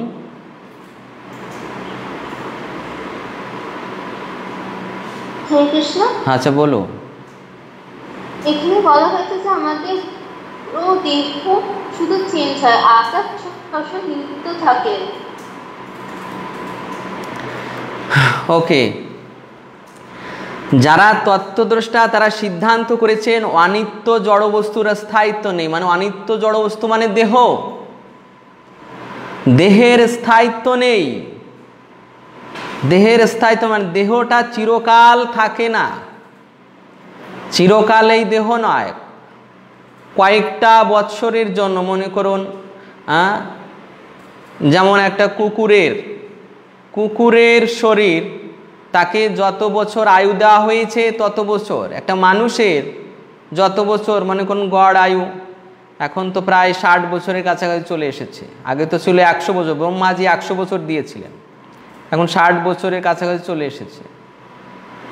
তো ষাট বছর পর্যন্ত থাকছে, তারপর বিনাশ প্রাপ্ত হয়ে যাচ্ছে। ওই দেহটা আর থাকছে না। অর্থাৎ এই যে অনিত্য জড় বস্তু হ্যাঁ?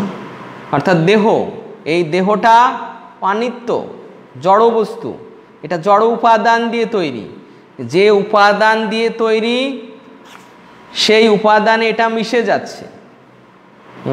অর্থাৎ আমাদের শরীরে যে জড় উপাদান দেখুন, এই যে ক্ষিতি অপতেজ মরুদ্বম?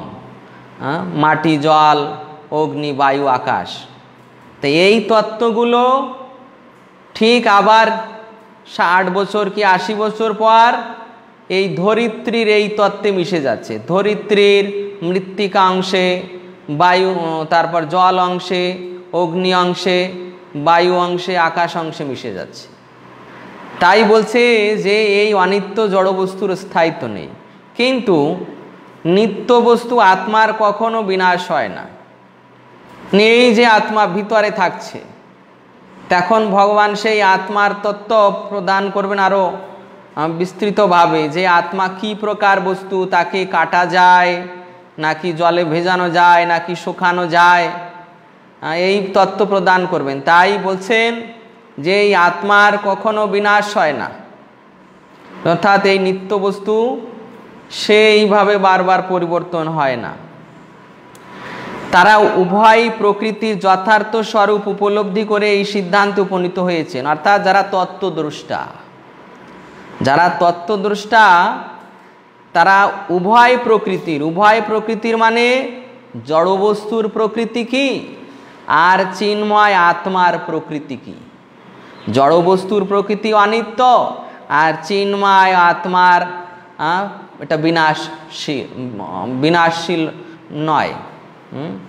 বিনাশ রহিত তো এই প্রকার আত্মার স্বরূপ উপলব্ধি করে এই সিদ্ধান্তে উপনীত হয়েছেন। এখানে প্রভুপাদ অনেকভাবে ব্যাখ্যা করেছেন।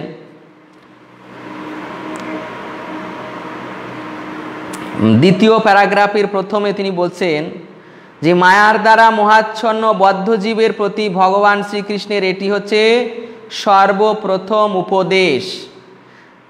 হুম? সর্বপ্রথম উপদেশ। সর্বপ্রথম উপদেশ কি? জীব হচ্ছে ভগবানের অবিচ্ছেদ্য অংশ, তাই সে ভগবানের নিত্য দাস হ্যাঁ এটাই হচ্ছে ভগবানের কি? সর্বপ্রধান উপদেশ মানে সর্বপ্রথম উপদেশ। সর্বপ্রথম উপদেশ, এটাই। যে জীব কি? জীব তার অবিচ্ছেদ্য অংশ, অর্থাৎ বিভিন্নাংশ এবং তার নিত্য দাস নিত্য এখন প্রশ্ন হচ্ছে প্রশ্ন হচ্ছে মাধব গ্রুপের কাছে নিত্য দাস মানে কি? মাধব গ্রুপের কাছে প্রশ্ন নিত্য দাস মানে কি?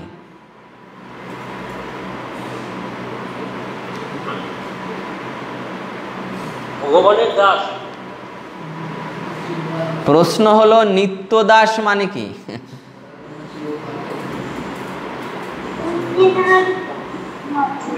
কৃষ্ণ প্রভু। আচ্ছা আম, মধুমিতা মাতাজি বলুন মধুমিতা মাতাজি। মানে প্রভু সেবা করবে তাকে নিত্যদাস করছে? রাধা মাধব প্রভু বলুন। রাধা মাধব প্রভু। হ্যাঁ হরে কৃষ্ণ প্রভু। হ্যাঁ। প্রভু নিত্যদাস বলতে সর্বদা প্রভুর দাস জগৎ জড় জগতেই থাকুক আর চিন্ময় জগতে থাকুক যেখানেই থাকুক প্রভুর দাস হয়ে থাকা। সেটা হচ্ছে নিত্য দাস। আচ্ছা ঠিক আছে। আর কেউ বলবেন এই মাধব গ্রুপ থেকে মাধব গ্রুপ থেকে? আচ্ছা গোবিন্দ মোহিনী।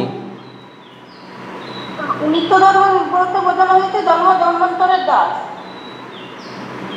ওকে অর্থাৎ নিত্য দাস নিত্য দাস মানে দেখুন, এই জগতে এই জগতে একটু দৃষ্টান্ত দেওয়া হচ্ছে, দেখুন। যে আজকেও আজকেও মনে করুন যে কোনো মন্ত্রীর কোনো মন্ত্রীর সেক্রেটারি মন্ত্রীর সেক্রেটারি তাহলে মন্ত্রী, তিনি উচ্চপদস্থ আর সেক্রেটারি নিচ্চ নিচপদস্থ তো দেখা গেল এক সময় মন্ত্রী দেহ ত্যাগ করল, ওই সেক্রেটারি তিনি তিনি মন্ত্রী পোস্টে দাঁড়ালেন, তিনি মন্ত্রিত্ব লাভ করলেন। সেক্রেটারি কি হয়ে গেল? মন্ত্রী। তাহলে এই যে তার এই পদের পরিবর্তন হয়ে গেল, সেক্রেটারি থেকে মন্ত্রী। দাস থেকে প্রভু। হ্যাঁ দাস থেকে প্রভু হয়ে গেলেন। কিন্তু চিন্ময় জগতে চিন্ময় জগতে এই প্রকার কোনো পরিবর্তন হয় না। মানে যে দাস, সে কখনোই প্রভু হয় না। বুঝতে পেরেছিলেন যে দাস মানে এই সমস্ত জীব দাস সে কখনোই প্রভু হয় না, হবে না, হতে পারে না। মানে সে সর্বদা তার দাসই থাকে। সে শ্রীকৃষ্ণ প্রভু এবং সমস্ত জীব তার নিত্যকাল তার দাস হয়েই থাকে। সে, সেই দাস কখনো প্রভুর প্রষ্টে উন্নীত হয় না। তাই এখানে বলা হচ্ছে, জীব তার নিত্যকালের দাস।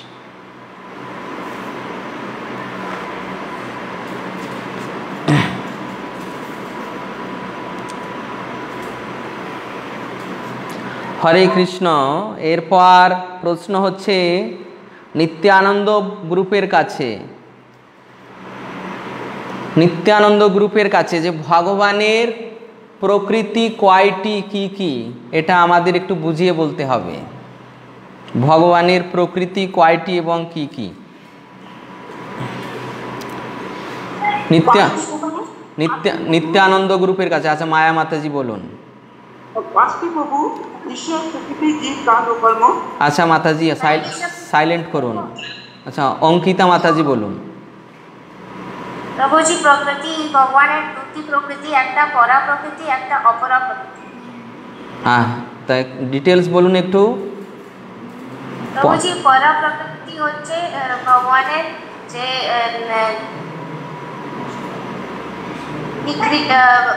মানে উৎকৃষ্ট প্রকৃতি মানে অন্তরঙ্গ প্রকৃতি প্রকৃতি।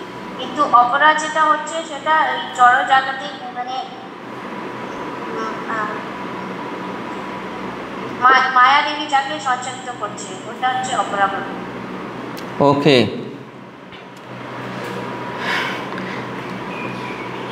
আর কেউ বলবেন? নিত্যানন্দ গ্রুপ থেকে, নিত্যানন্দ গ্রুপ থেকে আর কেউ বলবেন? অনুমাতাজি নিত্যানন্দ গ্রুপ থেকে। আচ্ছা ঠিক আছে। অনামিকা মাতাজি, ঠিক আছে। অনামিকা মাতাজি, ঠিক আছে। যেটা শক্তি, আর পড়া সেটা হচ্ছে চিন্ময় শক্তি, যেটা উৎকৃষ্ট শক্তি। আর অপরাকে আমরা দুটি ভাগে ভাগ করা- করতে পারি। স্থল উপাদান আর সূক্ষ্ম উপাদান। স্থল আমাদের যে পঞ্চভূত ভূমি, অগ্নি, জল, বায়ু, আকাশ, এই পাঁচটি দিয়ে আর সূক্ষ্ম উপাদান হচ্ছে মন, বুদ্ধি, অহংকার। আর চিন্ময় দেহ যেটা পড়ার ভাগের মধ্যে পড়ছে, সেটা হচ্ছে আত্মা সবজিৎ আনন্দময় ভগবানের ওকে, ভগবানের দুই প্রকার প্রকৃতি। পরা এবং অপরা। পরা প্রকৃতি মানে হচ্ছে, দেখুন, পরা প্রকৃতির কয়েকটি নাম। একটি নাম পরা প্রকৃতি, একটি নাম চিন্ময় প্রকৃতি, একটি নাম হচ্ছে উৎকৃষ্ট প্রকৃতি, একটি নাম হচ্ছে যোগমায়া শক্তি লীলা শক্তি তারপর অন্তরঙ্গা শক্তি এগুলো হচ্ছে ওই পরা প্রকৃতির নাম। আর অপরা প্রকৃতি মানে নিকৃষ্টা শক্তি বহিরঙ্গা শক্তি মায়া শক্তি জড়া প্রকৃতি তো এগুলো হচ্ছে অপরা প্রকৃতি তাই পরা প্রকৃতি অর্থাৎ ভগবান যে প্রকৃতিতে থাকেন, ভগবান কোন প্রকৃতিতে থাকেন? পরা প্রকৃতিতে। ভগবানের ভক্তরা কোন প্রকৃতিতে থাকেন? পরা প্রকৃতিতে। তারপর এই সমস্ত জীব জীব আত্মা কোন প্রকৃতি থেকে এসেছে? পরা প্রকৃতি থেকে এসেছে। পরা প্রকৃতি থেকে জীব এসেছে। আর থাকছে কোথায়? এই জড় জগতে অপরা প্রকৃতিতে এসেছে পরা প্রকৃতি থেকে জীব, থাকছে অপরা প্রকৃতিতে এই অপর প্রকৃতি মানে ভগবানের বহিরঙ্গা শক্তি, মহামায়া। হ্যাঁ?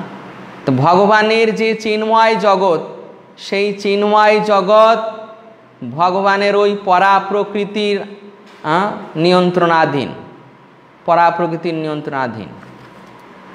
সেখানে এই বহিরঙ্গা প্রকৃতির প্রবেশ নেই। বহিরঙ্গা প্রকৃতির প্রবেশ নেই। পরা প্রকৃতি মানে হচ্ছে যোগমায়া। যোগমায়ার দ্বারা ওই চিন্ময় প্রকৃতি।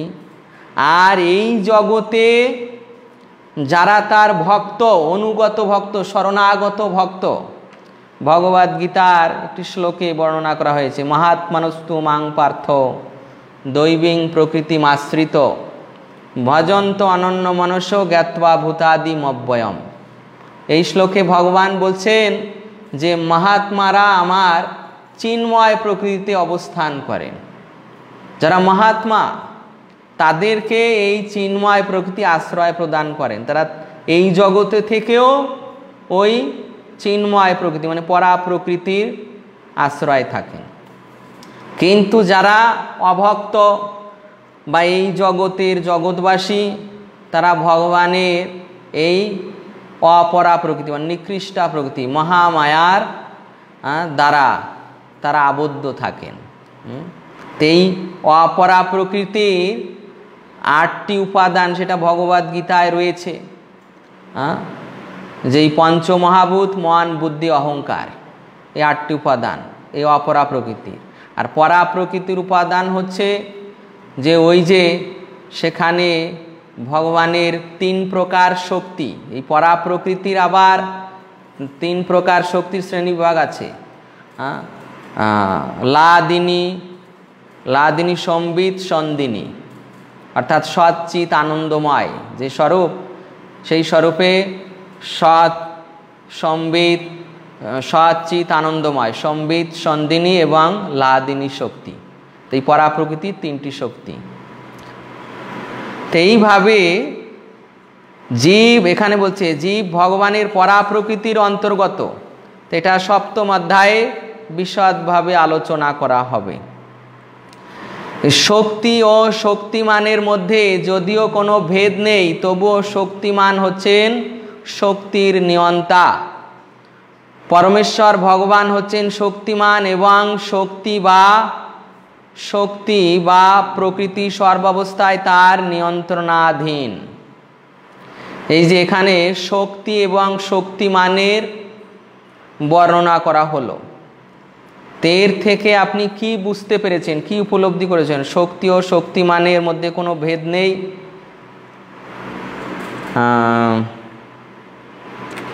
গৌরাঙ্গ গ্রুপের কাছে প্রশ্ন, এই শক্তি এবং শক্তিমানের তত্ত্বটি আমাদের বুঝিয়ে দিন।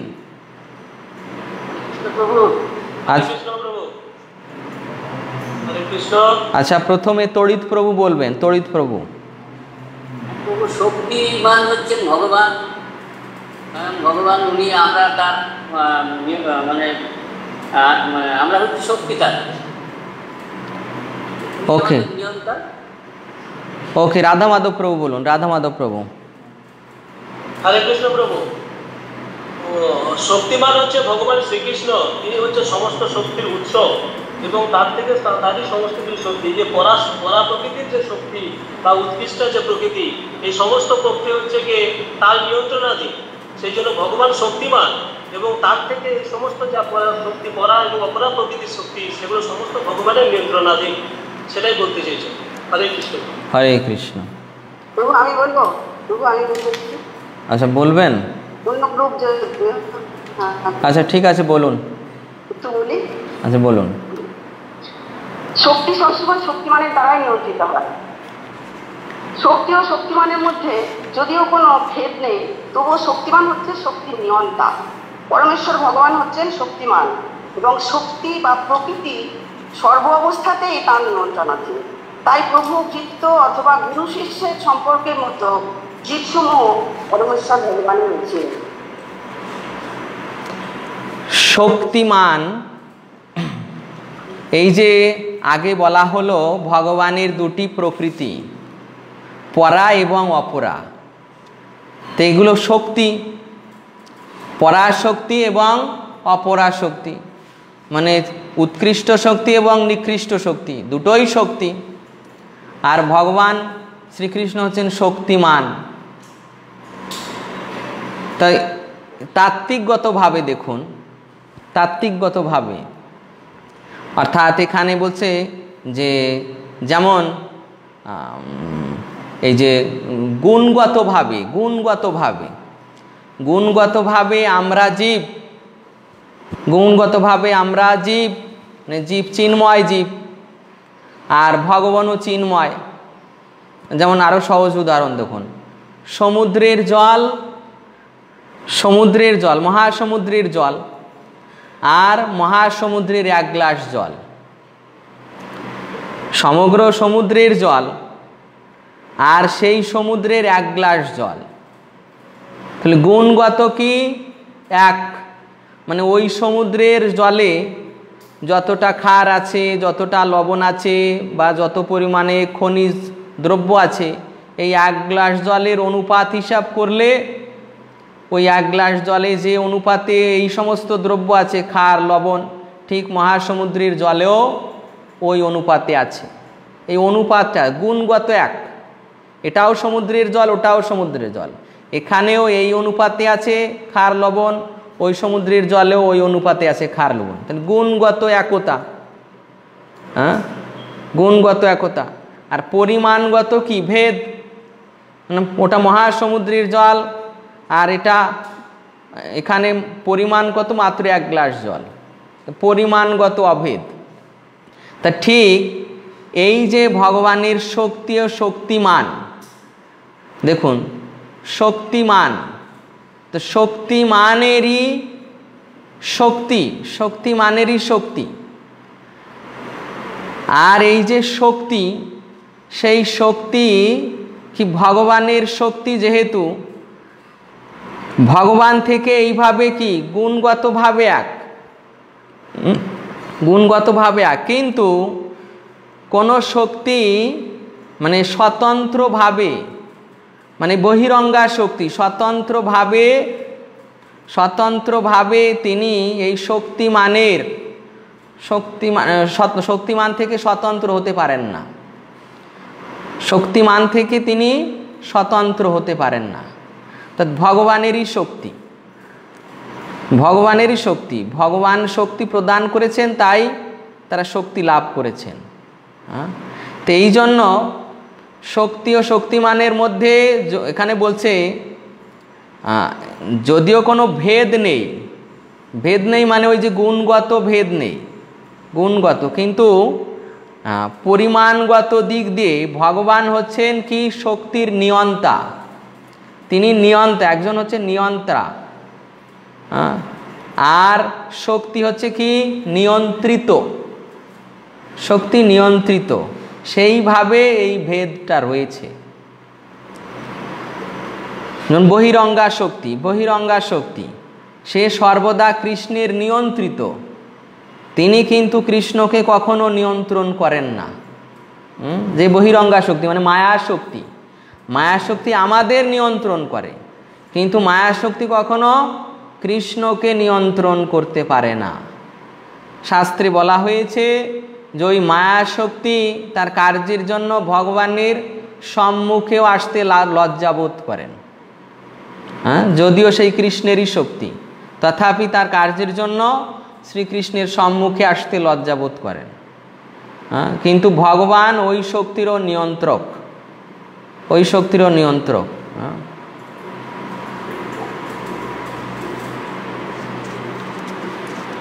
এরপর সপ্তদশ শ্লোক। অবিনাশী তু তদ্বিদ্ধি যেন সর্বমিদম ততম। বিনাশমব্যয় শাস্য ন কশ্চিৎ কর্তুমর্হতি হরে কৃষ্ণ। এরপর মাধব গ্রুপ থেকে পড়ুন। মাধব গ্রুপ থেকে। আচ্ছা পড়ুন। সমগ্র শরীরে হয়ে রয়েছে তাকে তুমি অবিনাশী বলে জানবে। সেই অব্যয় আত্মাকে কেউ বিনাশ করতে সক্ষম নয়। হ্যাঁ এখন ভগবান এই আত্মার পুরো ডিটেলস তিনি বর্ণন করছেন। যে আত্মা কি বস্তু? তাকে কি কেউ বিনাশ করতে পারে?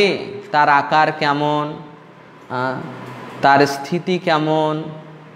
সে বিনাশশীল না বিনাশ রহিত তাই এই শ্লোকে বলছেন যে সমগ্র শরীরে পরিব্যাপ্ত হয়ে আছে, তাকে তুমি অবিনাশী বলে জানবে। সে অব্যয় আত্মাকে কেউ বিনাশ করতে সক্ষম নয়।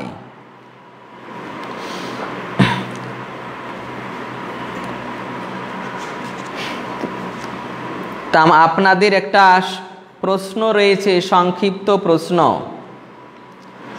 সংক্ষিপ্ত প্রশ্ন রয়েছে যে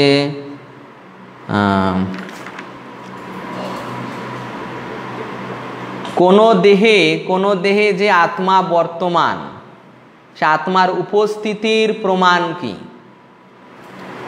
এটা বলবেন নিত্যানন্দ গ্রুপ থেকে, নিত্যানন্দ গ্রুপ থেকে বলুন। যে দেহে আচ্ছা বলুন। মায়া মাতাজি বলুন, মায়া মাতাজি। মানে চেতন আমাদের দেহের যখন আত্মা থাকে, তখনই আমাদের দেহটা মানে চলে। মানে বেরিয়ে যায়, তখন এটা হয়ে যায়। আত্মা যদি ভিতরে না থাকে, তাহলে আমরা আমাদের দেহ কোনো কাজ করি না। আচ্ছা হরে কৃষ্ণ মাতাজি আমি সংক্ষেপে চেয়েছি এক কথায় চেয়েছি এক কথায় যারা বলবেন তারাই উত্তর করবেন। আচ্ছা একজন মাতাজি বলছেন শ্বাস নিঃশ্বাস। আর অঙ্ক দাঁড়ান নিত্যানন্দ গ্রুপ থেকে বলুন অঙ্কিতা মাতাজি বলুন। তারপর মধুমিতা মাতাজি বলুন।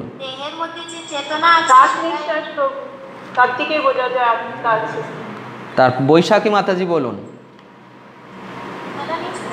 তো তাছাড়া শরীরে আত্মা উপস্থিত। মিলিয়ে নিন এবার। এই যে আত্মার উপস্থিতির প্রমাণ হচ্ছে কি সমগ্র দেহে প্রবাহিত চেতনা। সমগ্র দেহে প্রবাহিত চেতনা। এটাই হচ্ছে আত্মার উপস্থিতির প্রমাণ। সমগ্র দেহে প্রবাহিত চেতনা।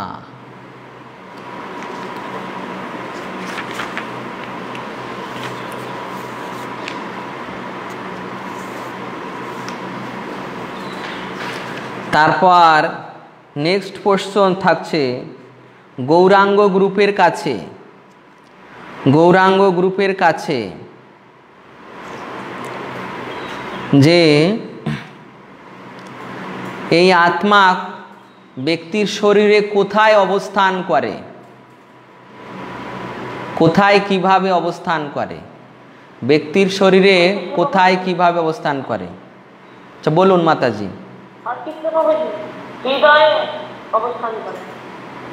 আচ্ছা আরেকজন বলুন। কোথায় কীভাবে অবস্থান করেন? গৌরাঙ্গ গ্রুপ থেকে গৌরাঙ্গ গ্রুপ থেকে। হ্যাঁ বলুন।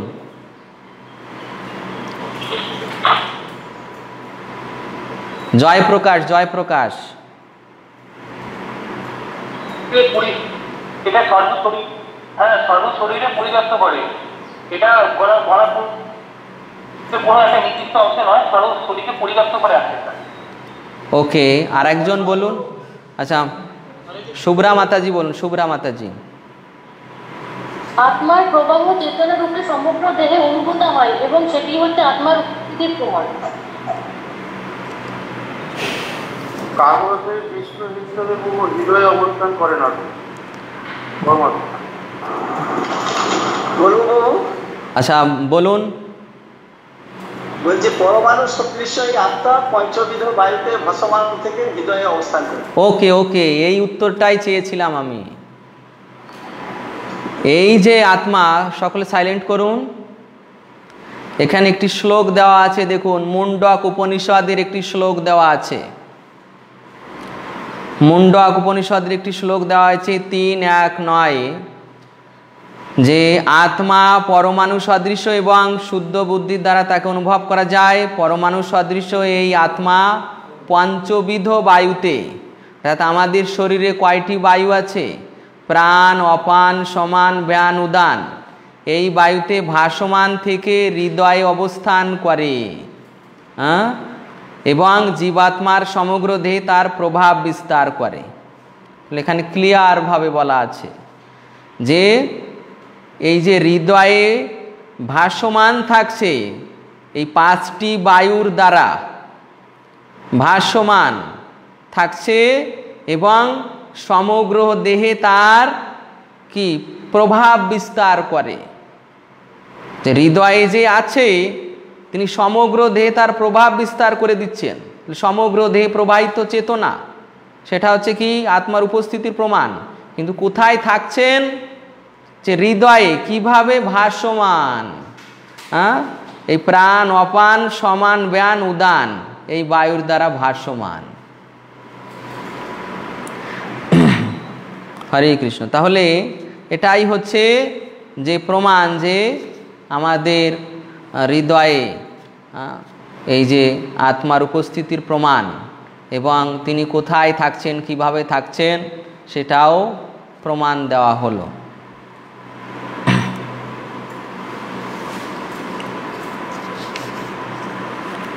এরপর অষ্টাদশ শ্লোক। পন্তবন্ত ইমে দেহা নিত্যাসক্তা শরীরিণ অনাশীন প্রমেয়স্য তস্মাদ যুধস্য ভারত। হুম গোবিন্দ গ্রুপ থেকে পড়ুন। হ্যাঁ পড়ুন। অপরিমেয় শাশ্বত জড়, দুর্গ নিঃসন্দেহে বিনাশী। অতএব হে ভারত, তুমি শাস্ত্রবিহিত স্বধর্ম পরিত্যাগ না করে যুদ্ধ করো। হরে কৃষ্ণ।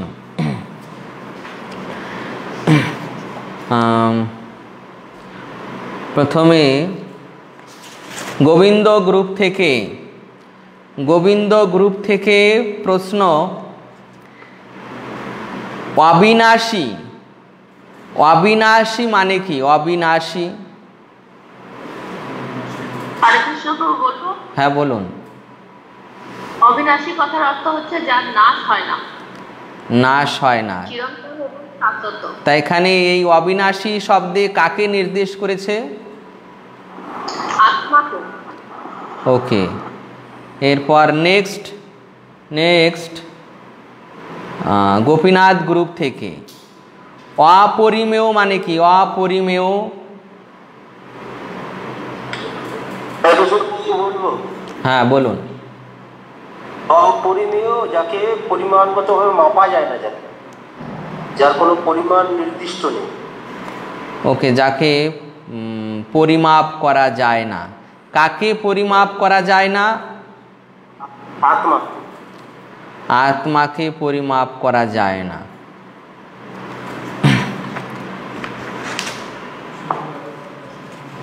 তারপর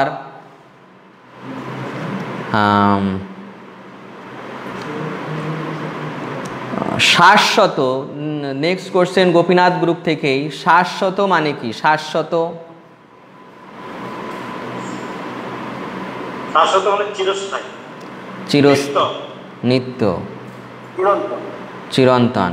কাকে শাশ্বত বলা হয়েছে? আত্মাকে।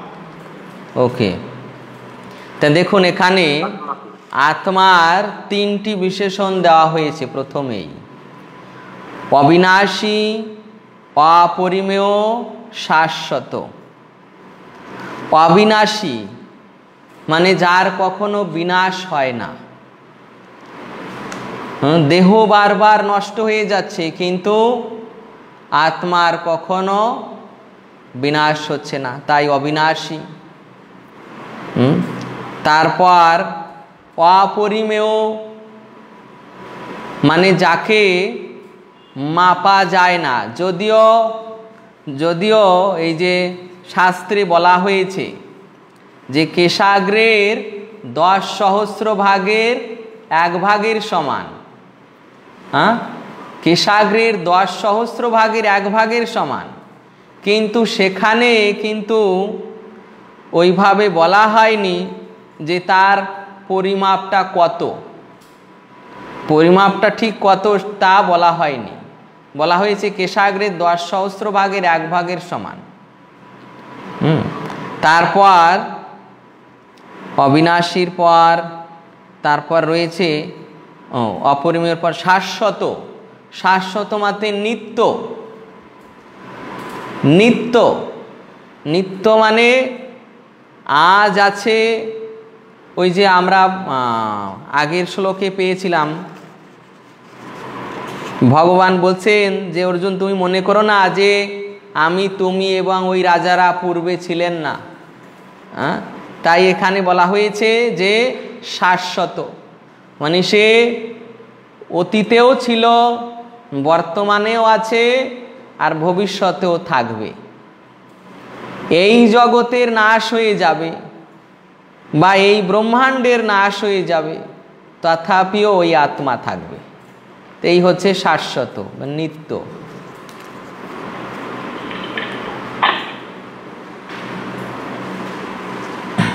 তাই অর্জুনকে বলছেন যে, হে ভারত, তুমি শাস্ত্রবিহিত স্বধর্ম পরিত্যাগ না করে যুদ্ধ করো। কেননা, যুদ্ধ করলে ওই আত্মার বধ হবে না। হ্যাঁ? আত্মার বধ হবে না। দেহ নষ্ট, তো সেটা তো একসময় নষ্ট হবেই। তো যদি স্বধর্ম করে যুদ্ধক্ষেত্রে নষ্ট হয়, তাহলে সেটাই বরং মঙ্গল, অতএব তুমি যুদ্ধ করো।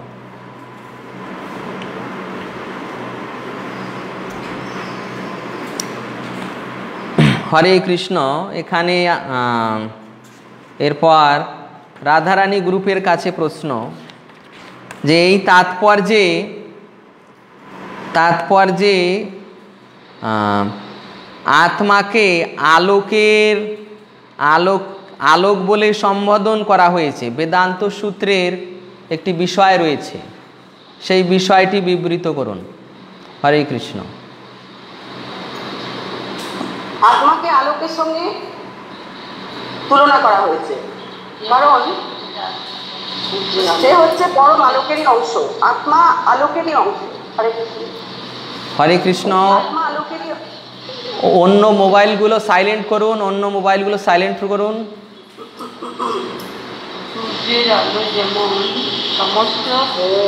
অন্য মোবাইলগুলো সাইলেন্ট করুন।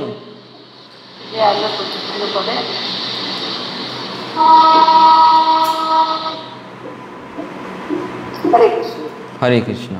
বেদান্ত সূত্রে আত্মাকে আলোকের সঙ্গে তুলনা করা হয়েছে, আলোক বলে সম্বোধন করা হয়েছে। কারণ আত্মা হচ্ছে পরম আলোকেরই অংশ।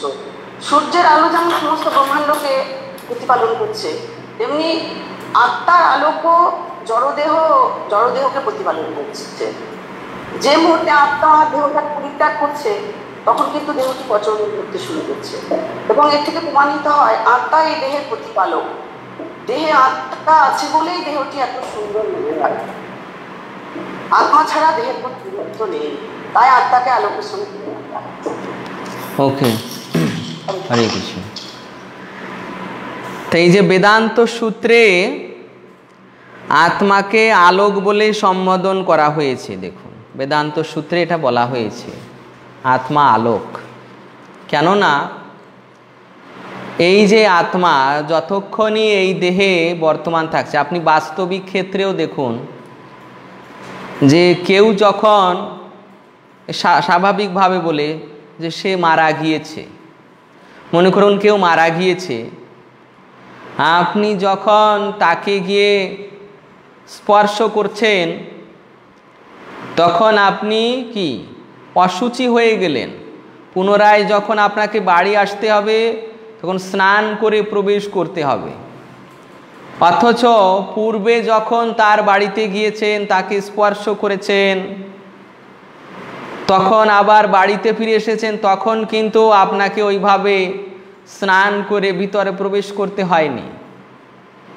তখন ওই রকম অসুচি হননি। এখন সেই ব্যক্তি তো পড়ে আছে, কিন্তু তাকে স্পর্শ করে এসে আবার স্নান করতে হচ্ছে কেন? কেননা তার শরীরে সেই পবিত্র বস্তুটি নেই। পবিত্র বস্তুর অনুপস্থিতি, ওই আত্মার অনুপস্থিতি। তাই বলছে সেই আত্মাই হচ্ছে কি পবিত্র বস্তু। সেই পবিত্র বস্তু যতক্ষণ থাকছে তখনই দেহটি পবিত্র। আর পবিত্র বস্তু যখন না থাকছে ততক্ষণ দেহটি অপবিত্র হয়ে গেল। হ্যাঁ? তেইভাবে ততক্ষণ পর্যন্তই ওই দেহে আত্মা বর্তমান ততক্ষণই কিন্তু দেহটি পবিত্র দেহটি চেতন, কিন্তু আত্মা না থাকলে দেহ পবিত্র নয়, দেহ চেতন নয়। তাই আত্মা হচ্ছে আলোক। যেমন আলোক থাকলে কি?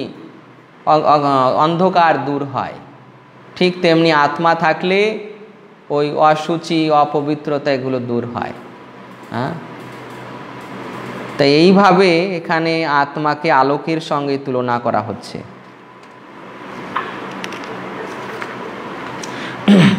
উনিশ নাম্বার শ্লোক ইয়াইনম বেত্তি হন্তারম যশ্চৈনম মন্যতে হতম, উভৌ তৌ না বিজানিত নায়ম হন্তি না হন্যতে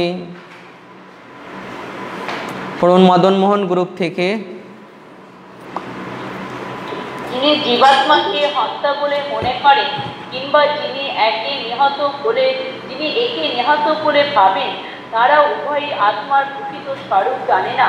কারণ আত্মা কাউকে হত্যা করে না এবং কারও দ্বারা নিহত হন হরে হরে কৃষ্ণ।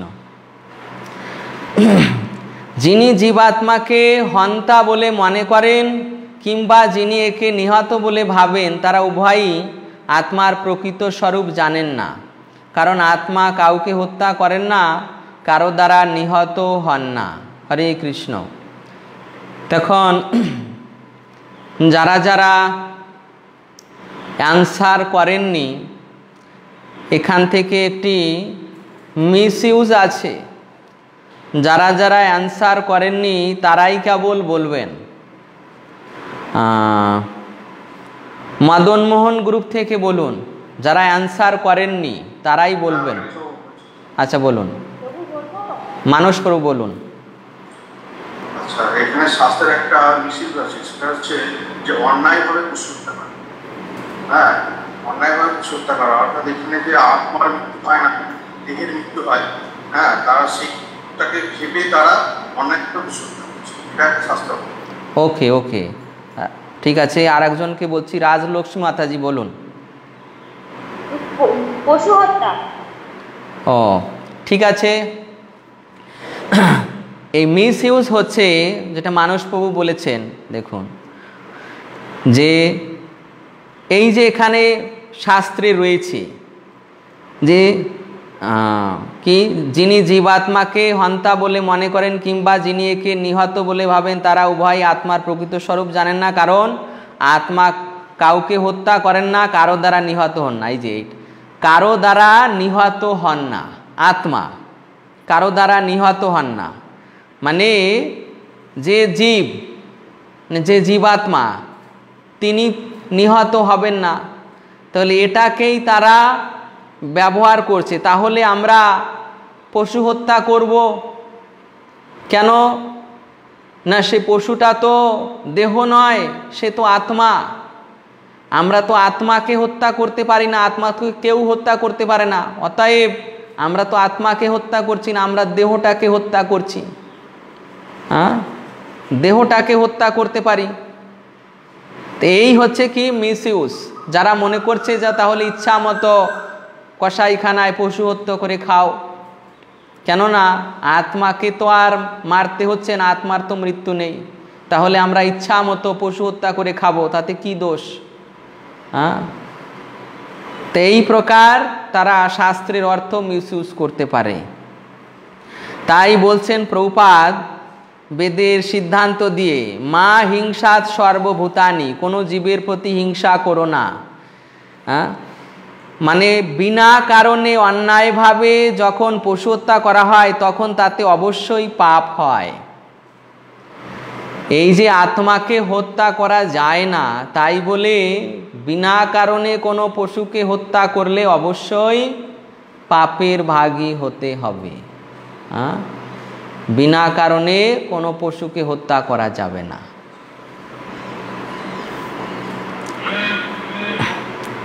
পরবর্তীতে আহ, নিত্যানন্দ গ্রুপ থেকে নিত্যানন্দ গ্রুপ থেকে একজন এই শ্লোকটি পড়বেন হরে কৃষ্ণ প্রভু পড়বো আচ্ছা পড়ুন नाचायते म्रियते वा कदाचित् नायं भूत्वा भवितमानपूयम् अजो नित्यम् आसुतोऽयं पुराणो न हन्यते हन्यमाने शरीरे হরে কৃষ্ণ অনুবাদটা পড়ুন সবু আমার হিন্দিতে আছে ও, আচ্ছা ঠিক আছে তবু আমি বলবো আচ্ছা পড়ুন মা- মায়া মাতাজি পড়ুন হরে কৃষ্ণ প্রভু আত্মা কখনো জন্ম হয় না বা মৃত্যু হয় না অথবা পূর্ণ পূর্ণ তার উৎপত্তি বা বৃদ্ধি হয় না। তিনি জন্মরহিত শাশ্বত, নিত্য এবং পুরাতন। হলেও চিরনবী শরীর নষ্ট হলেও আত্মা কখনো নষ্ট হয় না। ওকে এখানে আত্মার আরও ডিটেলস বর্ণনা করছেন। দেখুন, পূর্বে বলা হয়েছিল যে এই আত্মার কখনো জন্ম হয় না, মৃত্যু হয় না। ক্লাসের প্রথম শ্লোকটাই আমি আলোচনা করছিলাম হয়তো। যে এই দেহেরই জন্ম হয়, দেহেরই মৃত্যু হয়, আত্মার কখনো জন্ম হয় না, মৃত্যু হয় না, সেটাই এখানে ভগবান বলছেন। যে আত্মার কখনো জন্ম হয় না, মৃত্যু হয় না অথবা পুনঃ পুনঃ তার উৎপত্তি বা বৃদ্ধি হয় না। তারপর তিনি জন্মরহিত মানে তার জন্ম হয় না, তিনি শাশ্বত, এটাও পূর্বে পেয়েছি, শাশ্বত মানে তিনি চিরন্তন, নিত্য এবং পুরাতন, নিত্য এবং পুরাতন। নিত্য পেয়েছি, পুরাতন পুরাতন মানে তিনি অতীতে, অনেক অনেক অতীত থেকেই তিনি বর্তমান, চিরনবীন। তারপর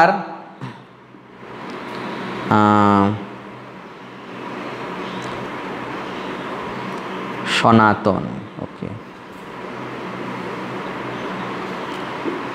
পুরাতন, চিরনবীন, শরীর নষ্ট হলেও আত্মা কখনো বিনষ্ট হয় না। চিরনবীন চিরনবীন মানে সেই আত্মা আর কখনো বৃদ্ধ অবস্থা প্রাপ্ত হয় না। শরীরের বৃদ্ধ অবস্থা প্রাপ্ত হয়ে যাচ্ছে। শরীরের বৃদ্ধ অবস্থা প্রাপ্ত হলে দেখবেন কি অবস্থা হয় শরীরের? চামড়া ঢিলা হয়ে যাবে জরাজীর্ণ অবস্থা, রোগ ব্যাধিতে মানে আক্রান্ত করেছে এমনভাবে কথা বলার শক্তি নেই। হাঁটতে চলতে গেলে শরীরে অনেক কষ্ট। কিন্তু আত্মার এই রকম কোনো কোনো কোনো বিকার হয় না, চিরনবীন। শরীর নষ্ট হলেও আত্মা কখনো বিনষ্ট হয় না। এই শরীরকে মনে করুন অ্যাক্সিডেন্টে মনে করুন অ্যাক্সিডেন্টে কাটা পড়ছে, চাপা পড়ছে হ্যাঁ অ্যাক্সিডেন্টে পড়ে শরীরে দেখা যাচ্ছে হাত একটা চলে যাচ্ছে, পা একটা চলে যাচ্ছে হ্যাঁ তারপর এত অসুবিধা হচ্ছে, তথাপি ওই আত্মা কিন্তু বিকার রহিত কোনো প্রকার তার ক্ষতি নেই। তাই এইভাবে বলা হচ্ছে যে দেহের পরিবর্তন কখনো আত্মাকে প্রভাবিত করে না।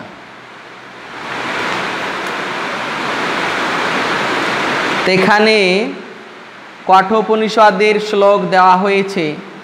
কঠোপনিষদের শ্লোক এই রকম একটি শ্লোক দেওয়া হয়েছে। আবার পরবর্তীতে পরবর্তীতে আর একটি শ্লোক দেওয়া হয়েছে কঠোপনিষদে। এখন প্রশ্ন হচ্ছে প্রশ্ন হচ্ছে, গৌরাঙ্গ গ্রুপের কাছে এখানে প্রভুপাদ কয় প্রকার আত্মার কথা বলেছেন এবং কি কি? কয় প্রকার আত্মার কথা বলেছে? তাৎপর্যে প্রভুপাত কয় প্রকার আত্মার কথা বলেছেন এবং কি কি? গৌরাঙ্গ গ্রুপ থেকে। গৌরাঙ্গ আচ্ছা। আচ্ছা কি কি? বলুন। আচ্ছা একটু বলুন অনু আত্মা কি আর বিভু আত্মা কি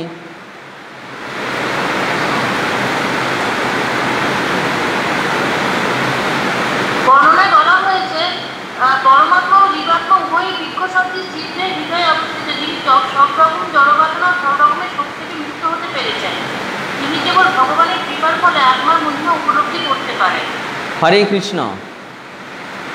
আত্মা দু রকমের দু রকমের মানে অনু আত্মা মানে হচ্ছে আমাদের জীবাত্মা। স্বাভাবিক ব্যাখ্যায় দেখুন, এই অনু আত্মা মানে আমাদের জীবাত্মা। আর বিভু আত্মা মানে হচ্ছে ভগবান, পরমাত্মা রূপে। পরমাত্মা রূপে তিনি আমাদের হৃদয় অবস্থিত। তাহলে আমাদের হৃদয়ে আত্মা আছে, পরমাত্মা আছে। এই আত্মা হচ্ছে অনু আত্মা আর পরমাত্মা হচ্ছে বিভু আত্মা তেইভাবে অনু আত্মা হচ্ছে আমরা জীবাত্মা আর বিভু আত্মা হচ্ছে ভগবানের এক অংশ, পরমাত্মা। তো এরকম দু রকম আত্মা। বেদা বিনাশিনম নিত্যম জয়নমজম অব্যয়ম কথম স পুরুষ পার্থ কম ঘাতয়তি হন্তিকম গোবিন্দ গ্রুপ থেকে পড়ুন। হরে হে পার্থ তুমি এই আত্মাকে অবিনাশী শাশ্বত জন্মরহিত ও অক্ষয় বলে জানেন কীভাবে কাউকে হত্যা করতে বা হত্যা করাতে পারবে পারেন হরে কৃষ্ণ। তো এই শ্লোকে বলছেন যে, হে অর্জুন, হে পার্থ, যিনি এই আত্মাকে অবিনাশী, শাশ্বত, জন্মরহিত অক্ষয় বলে জানেন মানে যিনি পণ্ডিত ব্যক্তি, পণ্ডিত ব্যক্তিরাই তো জানেন যে আত্মা অবিনাশী মানে তাকে কেউ বিনাশ করতে পারে না। এ শাশ্বত মানে তিনি পূর্বে যেমন ছিলেন, বর্তমানে আছেন, ভবিষ্যতেও তেমন থাকবেন। তার জন্মরহিত, তার কোনো জন্ম মৃত্যু নেই। তারপর অক্ষয় অক্ষয় মানে তার কোনো ক্ষয় নেই হ্যাঁ? যার কোনো ক্ষয় নেই। এই রকম যিনি আত্মার সম্বন্ধে জানেন, তিনি কীভাবে কাউকে হত্যা করতে মানে সেই ব্যক্তি, তিনি কীভাবে পারেন কাউকে হত্যা করতে বা হত্যা করাতে? মানে তিনিও তো আত্মা। তিনি কীভাবে অন্য একজন আত্মাকে হত্যা করবেন? বা অন্য একজন আত্মা তাকে হত্যা করবে? অতএব, যিনি পণ্ডিত ব্যক্তি, তিনি জানেন যে তিনি কাউকে হত্যা করতে পারেন না মানে তিনি তো নিজে আত্মা। হ্যাঁ তিনি কাউকে হত্যা করতে পারেন না, আবার তিনিও কারও দ্বারা তারও হত্যা হতে পারে না। এটাই এই শ্লোকে বলা হয়েছে তো এখানে তিনটি উপমা দেওয়া হয়েছে, দেখুন।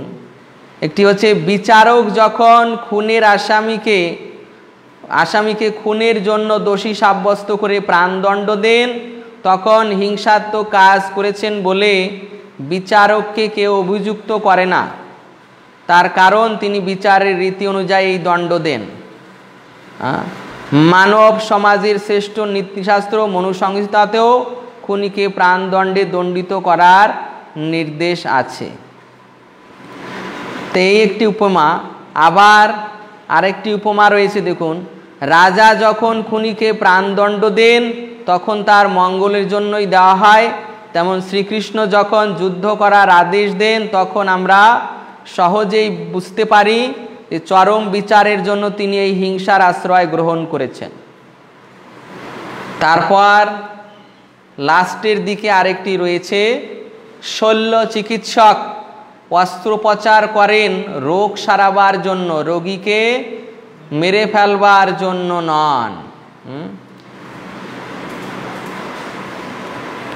এই যে তিনটি উপমা দেওয়া হয়েছে এই তিনটি উপমা দেওয়ার উদ্দেশ্য হচ্ছে যে যারা পণ্ডিত ব্যক্তি, তারা তো জানেন যে কাউকে হত্যা করতে বা হত্যা করাতে কেউ পারে না।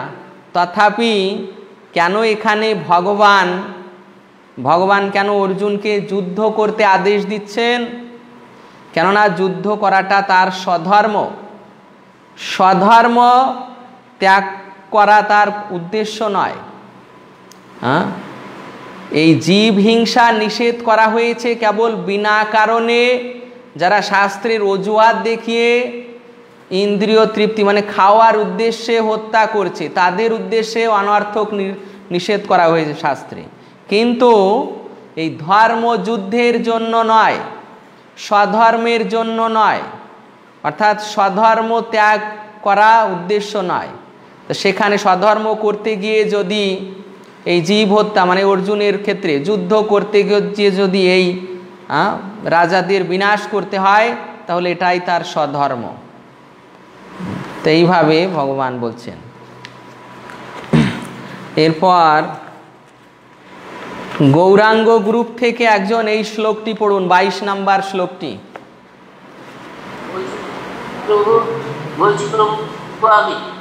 আচ্ছা যেভাবে আমি পাঠিয়েছি, ওইভাবে পড়বেন। যদি ওইভাবে পড়তে পারেন, তাহলেই বলুন। বাসাংসি জীর্ণানি যথা বিহায় নবানি নরপরাণি তথা শরীরানি বিহায় জীর্ণা অন্যানি সংজাতি নবানি ওকে। অনুবাদ পড়ুন। অনুবাদ অনুবাদ।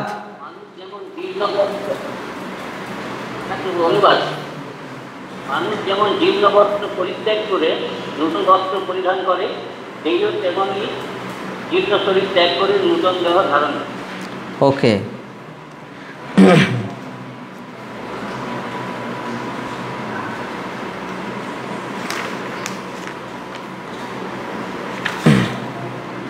এরপর গোবিন্দ গ্রুপ থেকে, গোবিন্দ গ্রুপ থেকে একজন বলবেন যে এখানে মুন্ডক উপনিষদের এই তাৎপর্যে মুন্ডক উপনিষদের যে একটি তুলনা দেওয়া হয়েছে হ্যাঁ আত্মা পরমাত্মার সম্পর্কে সেটি আমাদের একটু বুঝিয়ে দেবেন। মুন্ডক উপনিষদ থেকে কি তুলনা দেওয়া হয়েছে? গোবিন্দ গ্রুপ থেকে। আচ্ছা বলুন। মুন্ডক উপনিষদ থেকে যে তুলনাটা দেওয়া হয়েছে সেটা হচ্ছে দুটি পাখির কথা বলা হয়েছে, একই গাছে দুটি পাখি বসে আছে। গুণগতভাবে দুটি পাখি এক, একটি হচ্ছে বৃত্ত যেটি হচ্ছে জীবাত্মা, আর একটি হচ্ছে পরমাত্মা শ্রীকৃষ্ণ ভগবান একটি পাখি গাছের ফল খেয়ে বেড়াচ্ছে, কিন্তু সে যতক্ষণ না সেই আরেকটি পাখি তাকে লক্ষ্য করছে, সে পাখির দিকে ঘুরে তাকাচ্ছে, ততক্ষণ পর্যন্ত তার মুক্তি লাভ সম্ভব নয়, এরকম একটা উপমা দেওয়া হয়েছে। হরে কৃষ্ণ। হরে কৃষ্ণ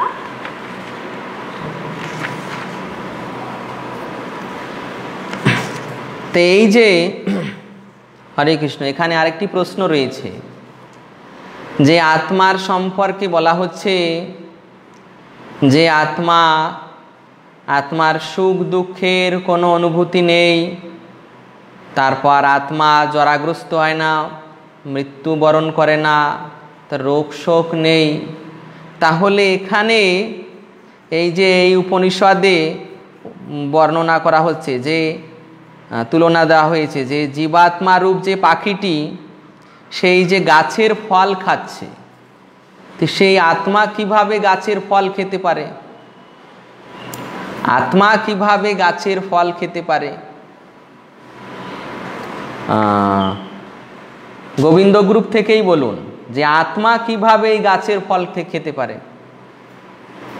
হরে কৃষ্ণ প্রভু আত্মা যখন তার পূর্বজন্মের কর্ম ফলের ফলে সে একটি শরীরে আবদ্ধ হয়ে পড়ে তখন সেই শরীরে থাকাকালীন সে এই ফল কথার অর্থ হচ্ছে ভালো মন্দ সমস্ত রকমের কর্মের ফল সে ভোগ করছে এটাই হবে। হরে কৃষ্ণ। হরে কৃষ্ণ। আর কেউ বলবেন? বলব এই গোবিন্দ গ্রুপ থেকে গোবিন্দ গ্রুপ থেকে। আচ্ছা বলুন বলুন। বলছি ফল বলতে এখানে পূর্বজন্মের কর্মফলের কথা বলছে। অর্থাৎ নিজে এই জন্মে যে কর্ম ফল করবে সেই তার ফল ফল মানে তার ভোগ করার মানে কি বলব? ওকে আমি বলছি।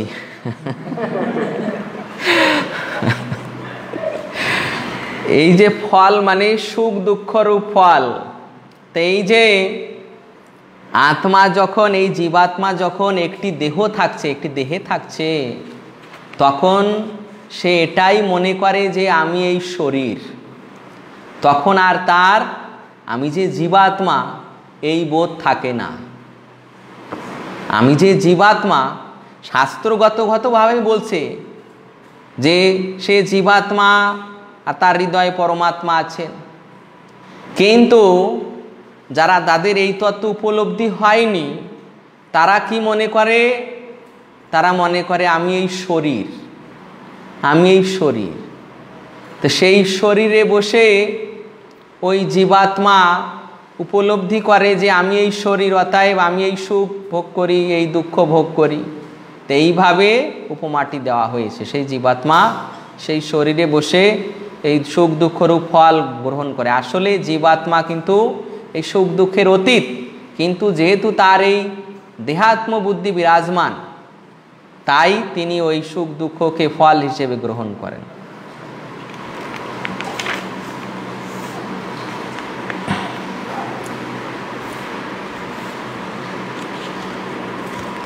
এরপর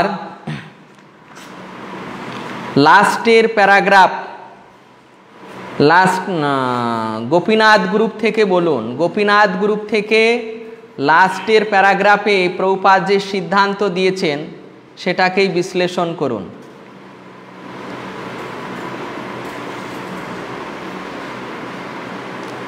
গোপীনাথ গ্রুপ থেকে। আচ্ছা বলুন। প্রপাত ভগবান এখানে অর্জুনকে উপদেশ দিচ্ছেন। যে বৃদ্ধ পিতামাতা, শিক্ষক, আত্মীয় পরিজনের জন্য শোক না করতে। কারণ সেখানে তারা ধর্মযুদ্ধে প্রাণ ত্যাগ করার ফলে তারা যে দেহগত, পূর্বকৃত যে খারাপ কর্মের ফল পায়, তারা সেটা মুক্ত হবে যদি এরা এখানে যদি নিহত হয়, তাই আনন্দ হওয়া উচিত।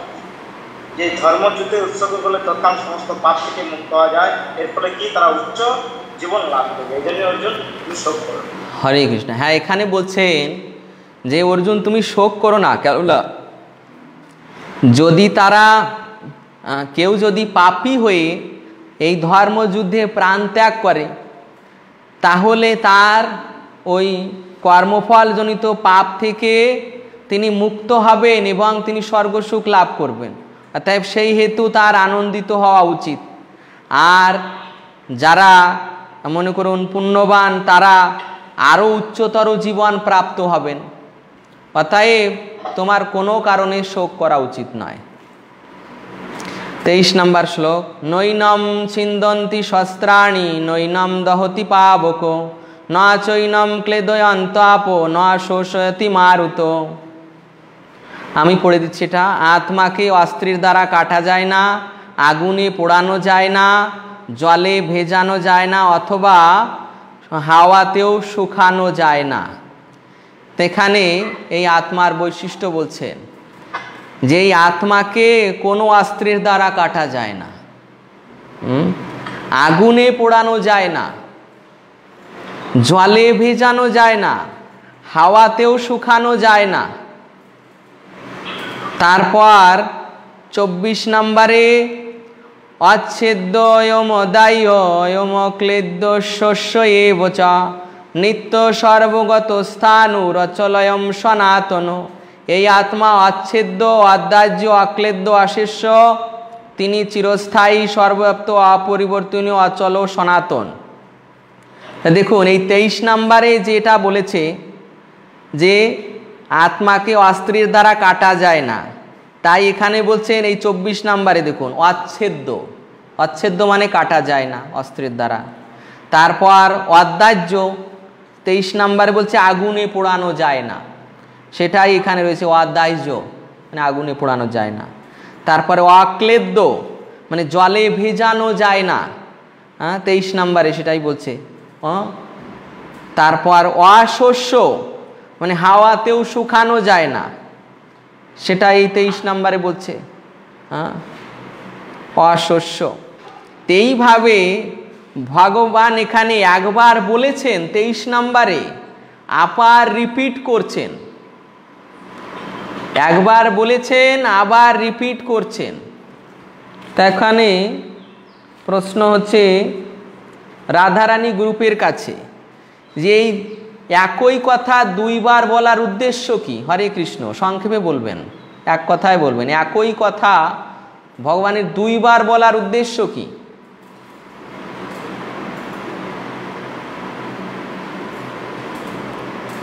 রাধারানী গ্রুপে।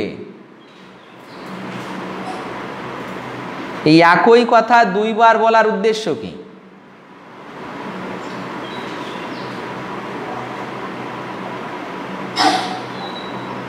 হরে কৃষ্ণ। মদন মোহন গ্রুপ থেকে বলুন তাহলে।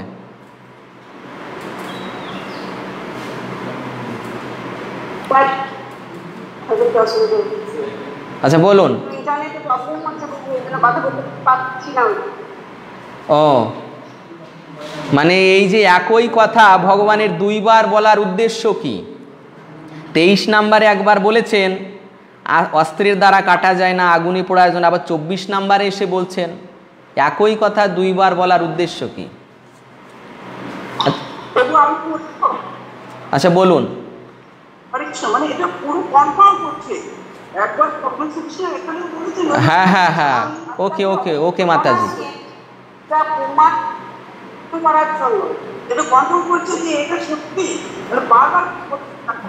ওকে ওকে ওকে বুঝতে পেরেছি বুঝতে পেরেছি। যে এটা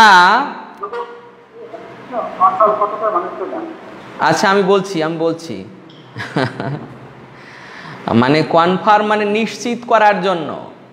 অর্জুনের মানে পুরোপুরি নিশ্চয়তা দেওয়ার জন্য, পুরোপুরি নিশ্চয়তা যে এটা কোনো ভুল নেই, এতে কোনো ভুল নেই। এটা আমি যা বলছি এটাই ঠিক। যেমন এই যে আমরা একটা বৃহৎ নারদীয় পুরাণ থেকে শ্লোক পাই, হরিনামের বিষয়, হরের নাম হরের নাম, হরের নামইব কে বলাম কলৌ নাস্তেব নাস্তেব নাস্তেব গতির অন্যথা হ্যাঁ? এখানে হরের নামও পদ তিনবার নাস্তেব পদ তিনবার। মানে এখানে মানে পুরোপুরি বিশ্বাস উৎপাদনের জন্য এই তিনবার এই পদটি উল্লেখ করা হয়েছে। তাই এখানেও ভগবান তার এই দুই রিপিট করার জন্য একবার বলেছেন, তারপর আবার সেটাকে রিপিট করছেন। এর উদ্দেশ্য হচ্ছে যে পুরোপুরি কনফার্ম করার জন্য যে অর্জুন, এতে তুমি অবিশ্বাস করো না। হ্যাঁ? তা এইভাবে তিনি অর্জুনের মানে হ্যাঁ, পূর্ণ বিশ্বাস পূর্ণ প্রত্যয় উৎপাদনের জন্য এটাই বলছেন। যে আত্মা অচ্ছেদ্য আদার্য আক্লেদ্য অশস্য এই আত্মা অস্ত্রীর দ্বারা কাটা যায় না আগুনে ভেজান পোড়ানো যায় না জলে ভেজানো যায় না হাওয়াতে শুকানো যায় না। অতএব তুমিও তাকে হত্যা করতে পারবে না কেবল তুমি তোমার সধর্ম পালন করো যেটা আমি বলছি। তিনি চিরস্থায়ী, সর্বব্যাপ্ত, অপরিবর্তনীয় অচল ও সনাতন। এই যে সনাতন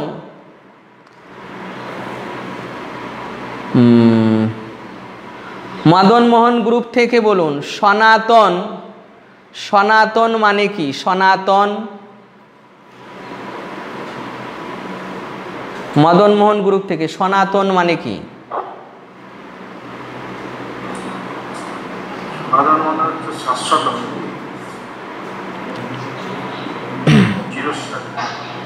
চিরস্থায়ী সনাতন। যা সবসময় বর্তমান। এরপর আম, নিত্য বর্তমান। ঠিক আছে আমি বলছি দেখুন। সনাতন মানে তো একটা আছে যে নিত্য বর্তমান। আর একটা হচ্ছে যে আত্মা সনাতন। আত্মা সনাতন মানে সেই আত্মা কখনো মানে বৃদ্ধি প্রাপ্ত হয় না, নিত্য সনাতন। নিত্য সনাতন মানে সেটা কখনো বৃদ্ধিপ্রাপ্ত হয়ে সেটা পরমাত্মায় পরিণত হয় না। সেই আত্মা কখনো বৃদ্ধিপ্রাপ্ত হয়ে পরমাত্মায় পরিবর্তন হয় না? অর্থাৎ এই যে জীব কখনো ভগবান হতে পারে না। মায়াবাদীদের সিদ্ধান্ত কি? যে জীব জীব মৃত্যুর পর নির্বিশেষ ব্রহ্মে গিয়ে মিলিত হয়ে ব্রহ্ম হয়ে যাবে, ব্রহ্মের সঙ্গে মিলিত হয়ে যাবে। তারপর ঈশ্বরের সঙ্গে মিলিত হয়ে যাবে এই রকম যারা মনে করে যে আজকে জীব আছে, পরবর্তীতে সে ভগবানের সঙ্গে মিলিত হয়ে যাবে, ভগবান হয়ে যাবে মানে পরমাত্মা হয়ে যাবে। তো এই রকম কখনো হতে পারে না। জীব সনাতন নিত্য অর্থাৎ সে জীবাত্মা রূপেই সর্বদা নিত্য। সে কখনো ভগবান হতে পারে না। এখানে দেখুন, এই যে তেইশ নাম্বার এবং চব্বিশ নাম্বারে যে থিওরিক্যাল অ্যাপ্লিকেশন আপনাদের দেওয়া হয়েছিল, তাত্ত্বিক বিষয়, এই তাত্ত্বিক বিষয় হবে তেইশ নাম্বারে হবে মায়াবাদ তত্ত্ব। মায়াবাদ মায়াবাদ কি? হ্যাঁ? মায়াবাদ। আর এই চব্বিশ নাম্বারে হচ্ছে অদ্বৈতবাদ। অদ্বৈতবাদ কি? তো এখানে মায়াবাদের বিষয় বর্ণন করা হয়েছে। মায়াবাদীরা কি মনে করে? যে ওই চরমে তিনি চরম তত্ত্ব হচ্ছে ব্রহ্ম এবং চরমে জীবাত্মা ব্রহ্মের সঙ্গে মিলিত হয়ে যায়। এ হচ্ছে মায়াবাদী সিদ্ধান্ত। আর অদ্বৈতবাদী সিদ্ধান্ত হচ্ছে যে মায়ামুক্ত হলে জীবাত্মা পরমাত্মা হ্যাঁ মাতাজি আমাদের হরে কৃষ্ণ নেট নেট নেটের সমস্যা হচ্ছে। যাই হোক আর একটি শ্লোক আছে। একটি শ্লোক আছে। অব্যক্ত অয়ম অচিন্ত অয়ম বিকার জয়মুচ্যতে তস্মাদেবম বিদিতৈনম নানুশচি তোমার হসি এই আত্মা অব্যক্ত, অচিন্ত, অবিকারী বলে শাস্ত্রে উক্ত হয়েছে। অতএব এই সনাতন স্বরূপ অবগত হয়ে দেহের জন্য তোমার শোক করা উচিত নয়। এখানে বলছে যে আত্মা অব্যক্ত। অব্যক্ত মানে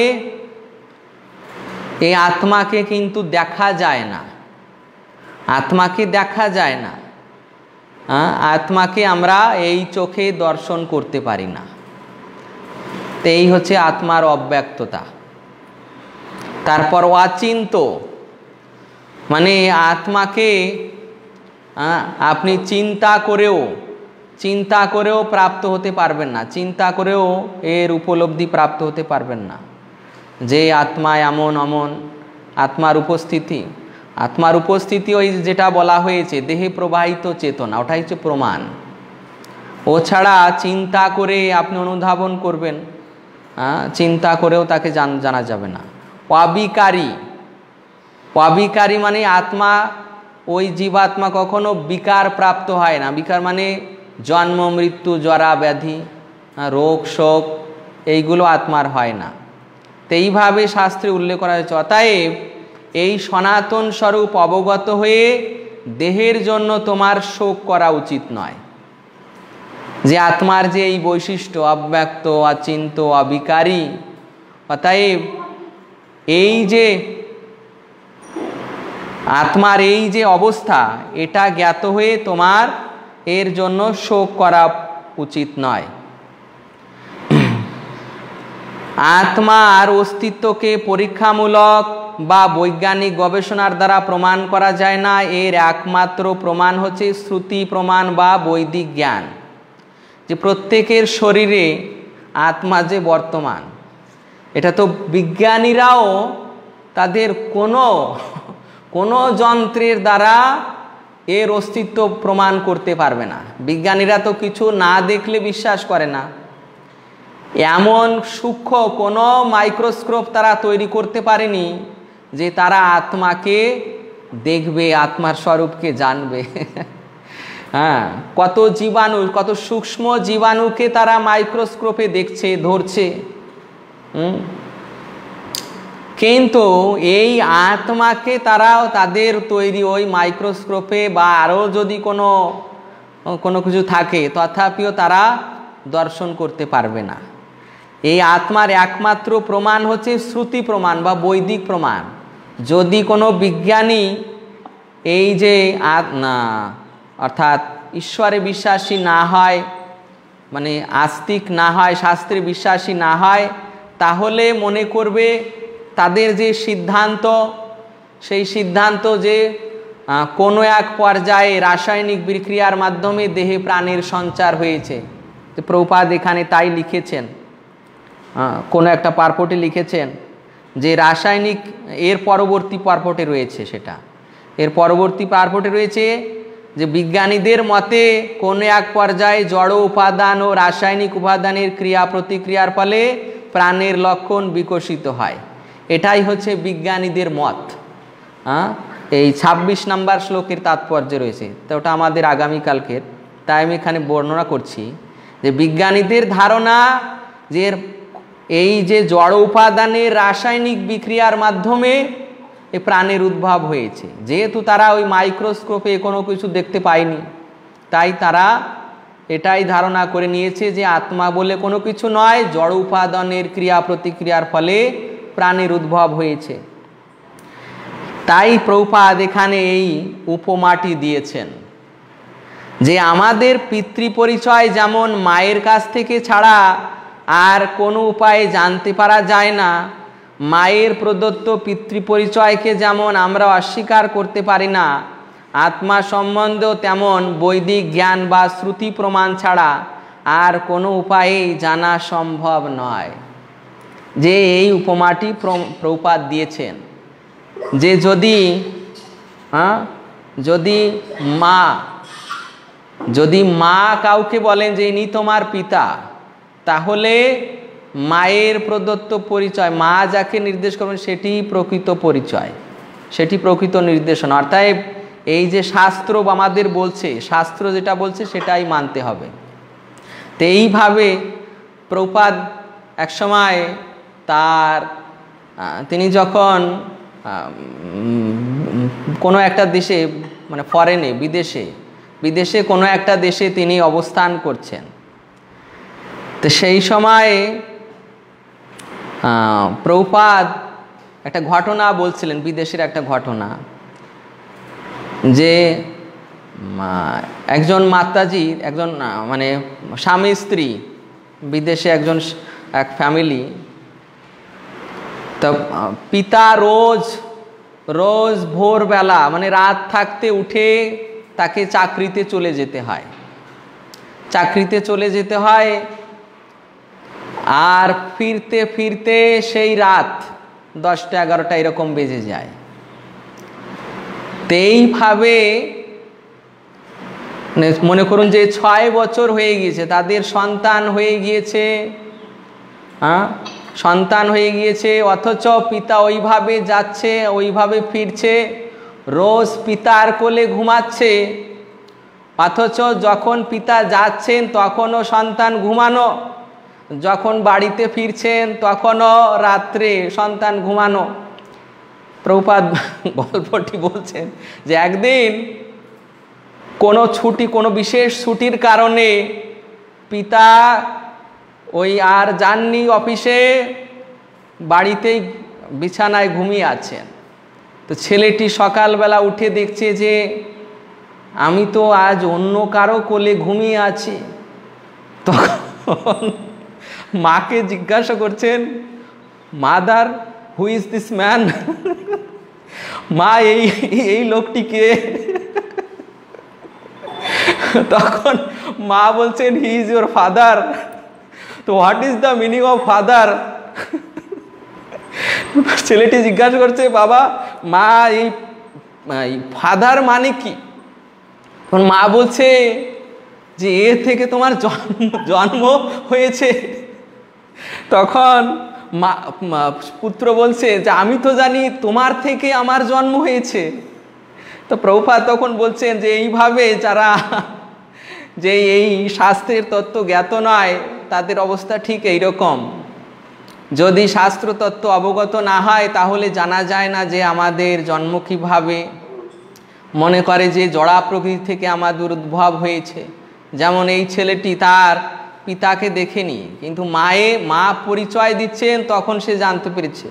তো ঠিক আমাদের এই আত্মার পরিচয়, আত্মতত্ত্বের পরিচয় শাস্ত্রে যেভাবে বলছে, যদি সেভাবে মেনে নিই তাহলেই সঠিকভাবে জানতে পারব। তো এই উপমাটি ঠিক তেমন যে আমাদের পিতৃ পরিচয় যেমন মায়ের কাছ থেকে ছাড়া আর অন্য কোনো উপায় জানতে পারা যায় না, ঠিক তেমনি আত্মা সম্বন্ধে বা ভগবান সম্বন্ধে শ্রুতি প্রমাণ ছাড়া আর কোনো উপায় জানা সম্ভব নয়।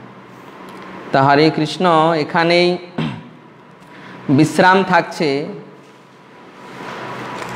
আর এখন যে আমাদের ক্লাসটি হয়ে গিয়েছে, আমাদের ক্লাসটি এই পর্যন্ত সমাপ্ত হয়ে গিয়েছে। যারা ডিবেটটি দর্শন করতে চান, তারা থাকবেন। আর বাকিরা আপনারা যেতে পারেন যেহেতু আমাদের সময় ওভার হয়ে গিয়েছে।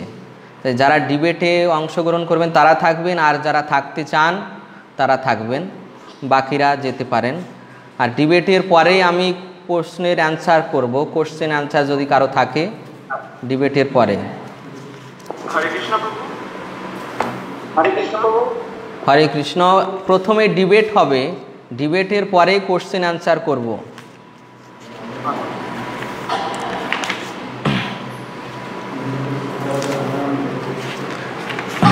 তা আমাদের ডিবেটের বিষয় ছিল, ডিবেটের বিষয় ছিল যে স্বতন্ত্র আত্মার মানে স্বতন্ত্র সৎপার কখনো বিনাশ হয় না। স্বতন্ত্র আত্মার কখনো বিনাশ হয় না। পক্ষে পক্ষে, প্রথমে পক্ষে থেকে বলবেন, তিনজন পক্ষের বক্তা আছেন এবং বিপক্ষে তিনজন আছেন, প্রথমে পক্ষ থেকে প্রথম একজন বলবেন, তারপর দ্বিতীয় বিপক্ষে থেকে বলবেন। প্রথমে পক্ষের বক্তা, তিনি যা বলবেন সেই অনুযায়ী, সেই তত্ত্বকে খণ্ডন করার জন্যই বিপক্ষের প্রথম বক্তা বলবেন। তারপর বিপক্ষের বক্তা যেভাবে বলছেন, তাকে আবার খণ্ডন করে পক্ষের বক্তা যুক্তি দেখাবেন। তারপর সেই পক্ষের বক্তা যুক্তিকে খণ্ডন করে বিপক্ষের বক্তা বলবেন। এইভাবেই ডিবেটটি হবে। হরে কৃষ্ণ। তো প্রথমে পক্ষের বক্তা প্রথমে পক্ষের উপর আপনি আপনার যুক্তি প্রদান করুন। হরে কৃষ্ণ। বলুন। প্রভুজি আমাদের ভগবত গীতাতেই ভগবান বলছেন যে আত্মা হচ্ছে অবিনাশী। তার কোনোদিন না করে না এই ষোলো নম্বর শ্লোকে যেটা আমরা আজকে বললাম আর তত্ত্বদর্শীরাও এই কথাটা মেনে নিয়েছেন যে হ্যাঁ আত্মা চিরস্থায়িত্ব আছে কিন্তু দেহের বিনাশ হয় কিন্তু আত্মার বিনাশ হয় না কখনো। হরে কৃষ্ণ বিপক্ষে হরে কৃষ্ণ আমি সম্পূর্ণভাবে একমত নই এই ব্যাপারটাতে কারণ আমি প্রমাণ দেবো যে আত্মার বিনাশ হতে পারে এখানে আমি এখানে আমরা সবাই জানি যে মুক্তি পাঁচ প্রকার। সারুপ্য সাজুর্য সালোক্য সামিপ্য শাস্তি। সাজুর্য মুক্তি। সাজুর্য মুক্তি যারা লাভ করেন, তারা ভগবানের বিমোচিতে বিজয়ী হয়ে যান। এ প্রসঙ্গে আমি শিশুপালে উদাহরণ দিতে পারি। একটুখানি একটু বলার সুযোগ চাইছি একটু ডিটেলসে বলছি। খুব বেশি নয়। যুধিষ্ঠির রাজস্ব যজ্ঞে শ্রীকৃষ্ণ ভগবানের অগ্রতার বিরোধিতা করে যখন শিশুপাল আসন থেকে উঠে দাঁড়িয়ে বয়স্ক জ্ঞানীজনকে কঠোর ভর্সনাপূর্বক শ্রীকৃষ্ণের নিন্দা করতে শুরু করল। এটি ছিল শিশুপালের একশো একতম অপরাধ। কারণ ভগবান বলেছিলেন, শিশুপালের একশোটা পর্যন্ত অপরাধ তিনি ক্ষমা করবেন। এবং যেহেতু এটা ছিল একশো একতম অপরাধ, তাই ভগবান সুদর্শন চক্রের সাহায্যে তা শিরচ্ছেদ করেছিলেন। ঠিক সেই মুহূর্তে এক আলোকরশ্মি শিশুপালের মৃতদেহ থেকে বেরিয়ে শ্রীকৃষ্ণের চিন্ময় দেহে প্রবেশ করেছিলেন উপস্থিত সকলে সেটি নিরীক্ষণ করেছিলেন। শিশুপাল ভগবান কৃষ্ণের অঙ্গজ্যোতিতে লীন হয়ে সাজুর্য মুক্তি লাভ করেছিলেন। এ প্রসঙ্গে ভাগবতমে একটি শ্লোক দিয়ে আমি শেষ করব। দশ নম্বর স্কন্ধের চুয়াত্তর নম্বর অধ্যায়ে পঁয়তাল্লিশ নম্বর শ্লোক চৈত দেহচ্ছিতং জ্যোতি বাসুদেবং উপাবিশত পশ্যতাং সর্বভূতানাং উল্কা ইব ভূমি খাটসুতা অর্থাৎ জ্যোতির্ময় আলো শিশুপালের দেহ থেকে উচ্ছিত হলো এবং সর্বসমক্ষে আকাশ থেকে পৃথিবীতে একটি উল্কার পতিত হওয়ার মতো শ্রীকৃষ্ণের মধ্যে প্রবেশ করল। হরে কৃষ্ণ। হরে কৃষ্ণ। তাহলে ভাগবতের এই শ্লোক অনুযায়ী শিশুপালের যে চিন্ময় আত্মা দেখা গেল যে শ্রীকৃষ্ণের অর্থাৎ পরমাত্মায় প্রবেশ করল। তাহলে তো এখানে দেখা যাচ্ছে যে আত্মা পরমাত্মার সঙ্গে মিল হয়ে গেল এবং আহ, শিশুপালের আত্মা ভগবানের সঙ্গে লীন হয়ে গেল। তাই এই যুক্তিকে খণ্ডন করে পক্ষের দ্বিতীয় বক্তা বলবেন হরে কৃষ্ণ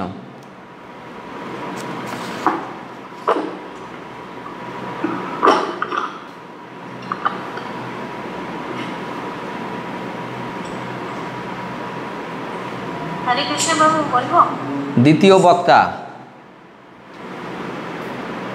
দ্বিতীয় বক্তাকে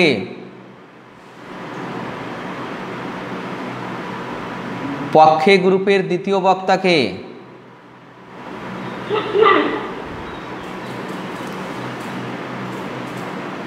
পক্ষে গ্রুপের দ্বিতীয় বক্তাকে মদন মোহন দাস বলছি প্রভু। হ্যাঁ বলুন আপনি লেট করছেন কেন? হ্যাঁ হ্যাঁ বলুন। বলছি আমরা এখনই এখনই তো জানতে পারলাম যে আমাদের আত্মা যখন ভগবানের দেহ যখন আমাদের প্রলয় প্রলয় মহাপ্রলয় যখন ঘটিত হয় তখন মহাবিষ্ণুর শরীরে সমগ্র আত্মায় অব্যক্ত রূপে থাকে কিন্তু তারা কেউ ভগবানের সঙ্গে এক হয়ে যায় না। অর্থাৎ শিশুপালের দেহে যে আত্মা ভগবানের দেহে গেলেও কিন্তু সেটা ভগবানের নিয়ে যায় সেটা কিন্তু ভগবান তাকে মুক্তি দিয়েছেন অর্থাৎ ভগবান তাকে ধামে পাঠিয়েছেন কিন্তু ভগবানের শরীরের ওটা আমরা যেটা দেখছি সে কিন্তু ভগবানের সঙ্গে মিলিন হয়ে যায়নি ওনার আত্মা কিন্তু স্বতন্ত্র হিসাবে রয়েছেন হরে কৃষ্ণ। হরে কৃষ্ণ। বিপক্ষে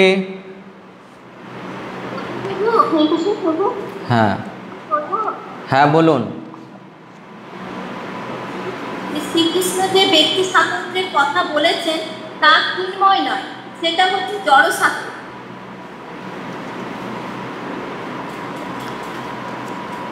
শ্রীকৃষ্ণ যে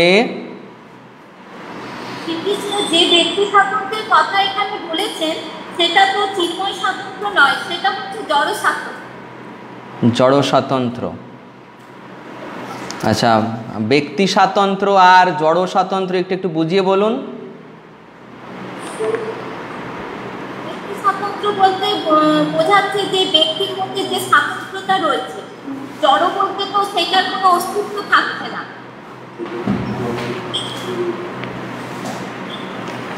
ওকে নেক্সট নেক্সট বক্তা।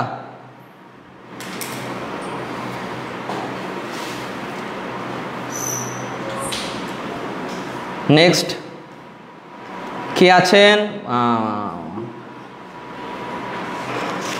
নেক্সট কে আছেন? হরে কৃষ্ণ। হরে কৃষ্ণ সাগরী। হ্যাঁ আমি বিপক্ষে বলব যে মাওবাদীরা বলে থাকেন যে মুক্তির পর আত্মা নির্বিশেষ ব্রহ্মে লীন হয়েছে কিন্তু এই কথার খণ্ডন করতে ভগবান শ্রীকৃষ্ণ বলেছেন যে স্বতন্ত্র সত্তা কখনো বিনাশ হয় না। চৈতন্য মহাপ্রভু বলেছেন যে মায়াবাদীর ভাষ্য পড়িতে হয় সর্বনাশ কারণ মায়াবাদীর ভাষ্যে তারা একবার প্রভাবিত হলে গীতার অন্তর নিহত তত্ত্বকে আর উপলব্ধি করতে পারা যায় না। হরে কৃষ্ণ। হরে কৃষ্ণ। নেক্সট আরেকজন আছেন কে?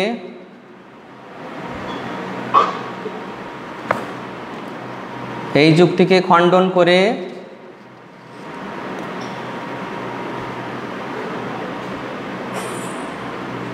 কৃষ্ণ প্রভু বলব না না আপনাদের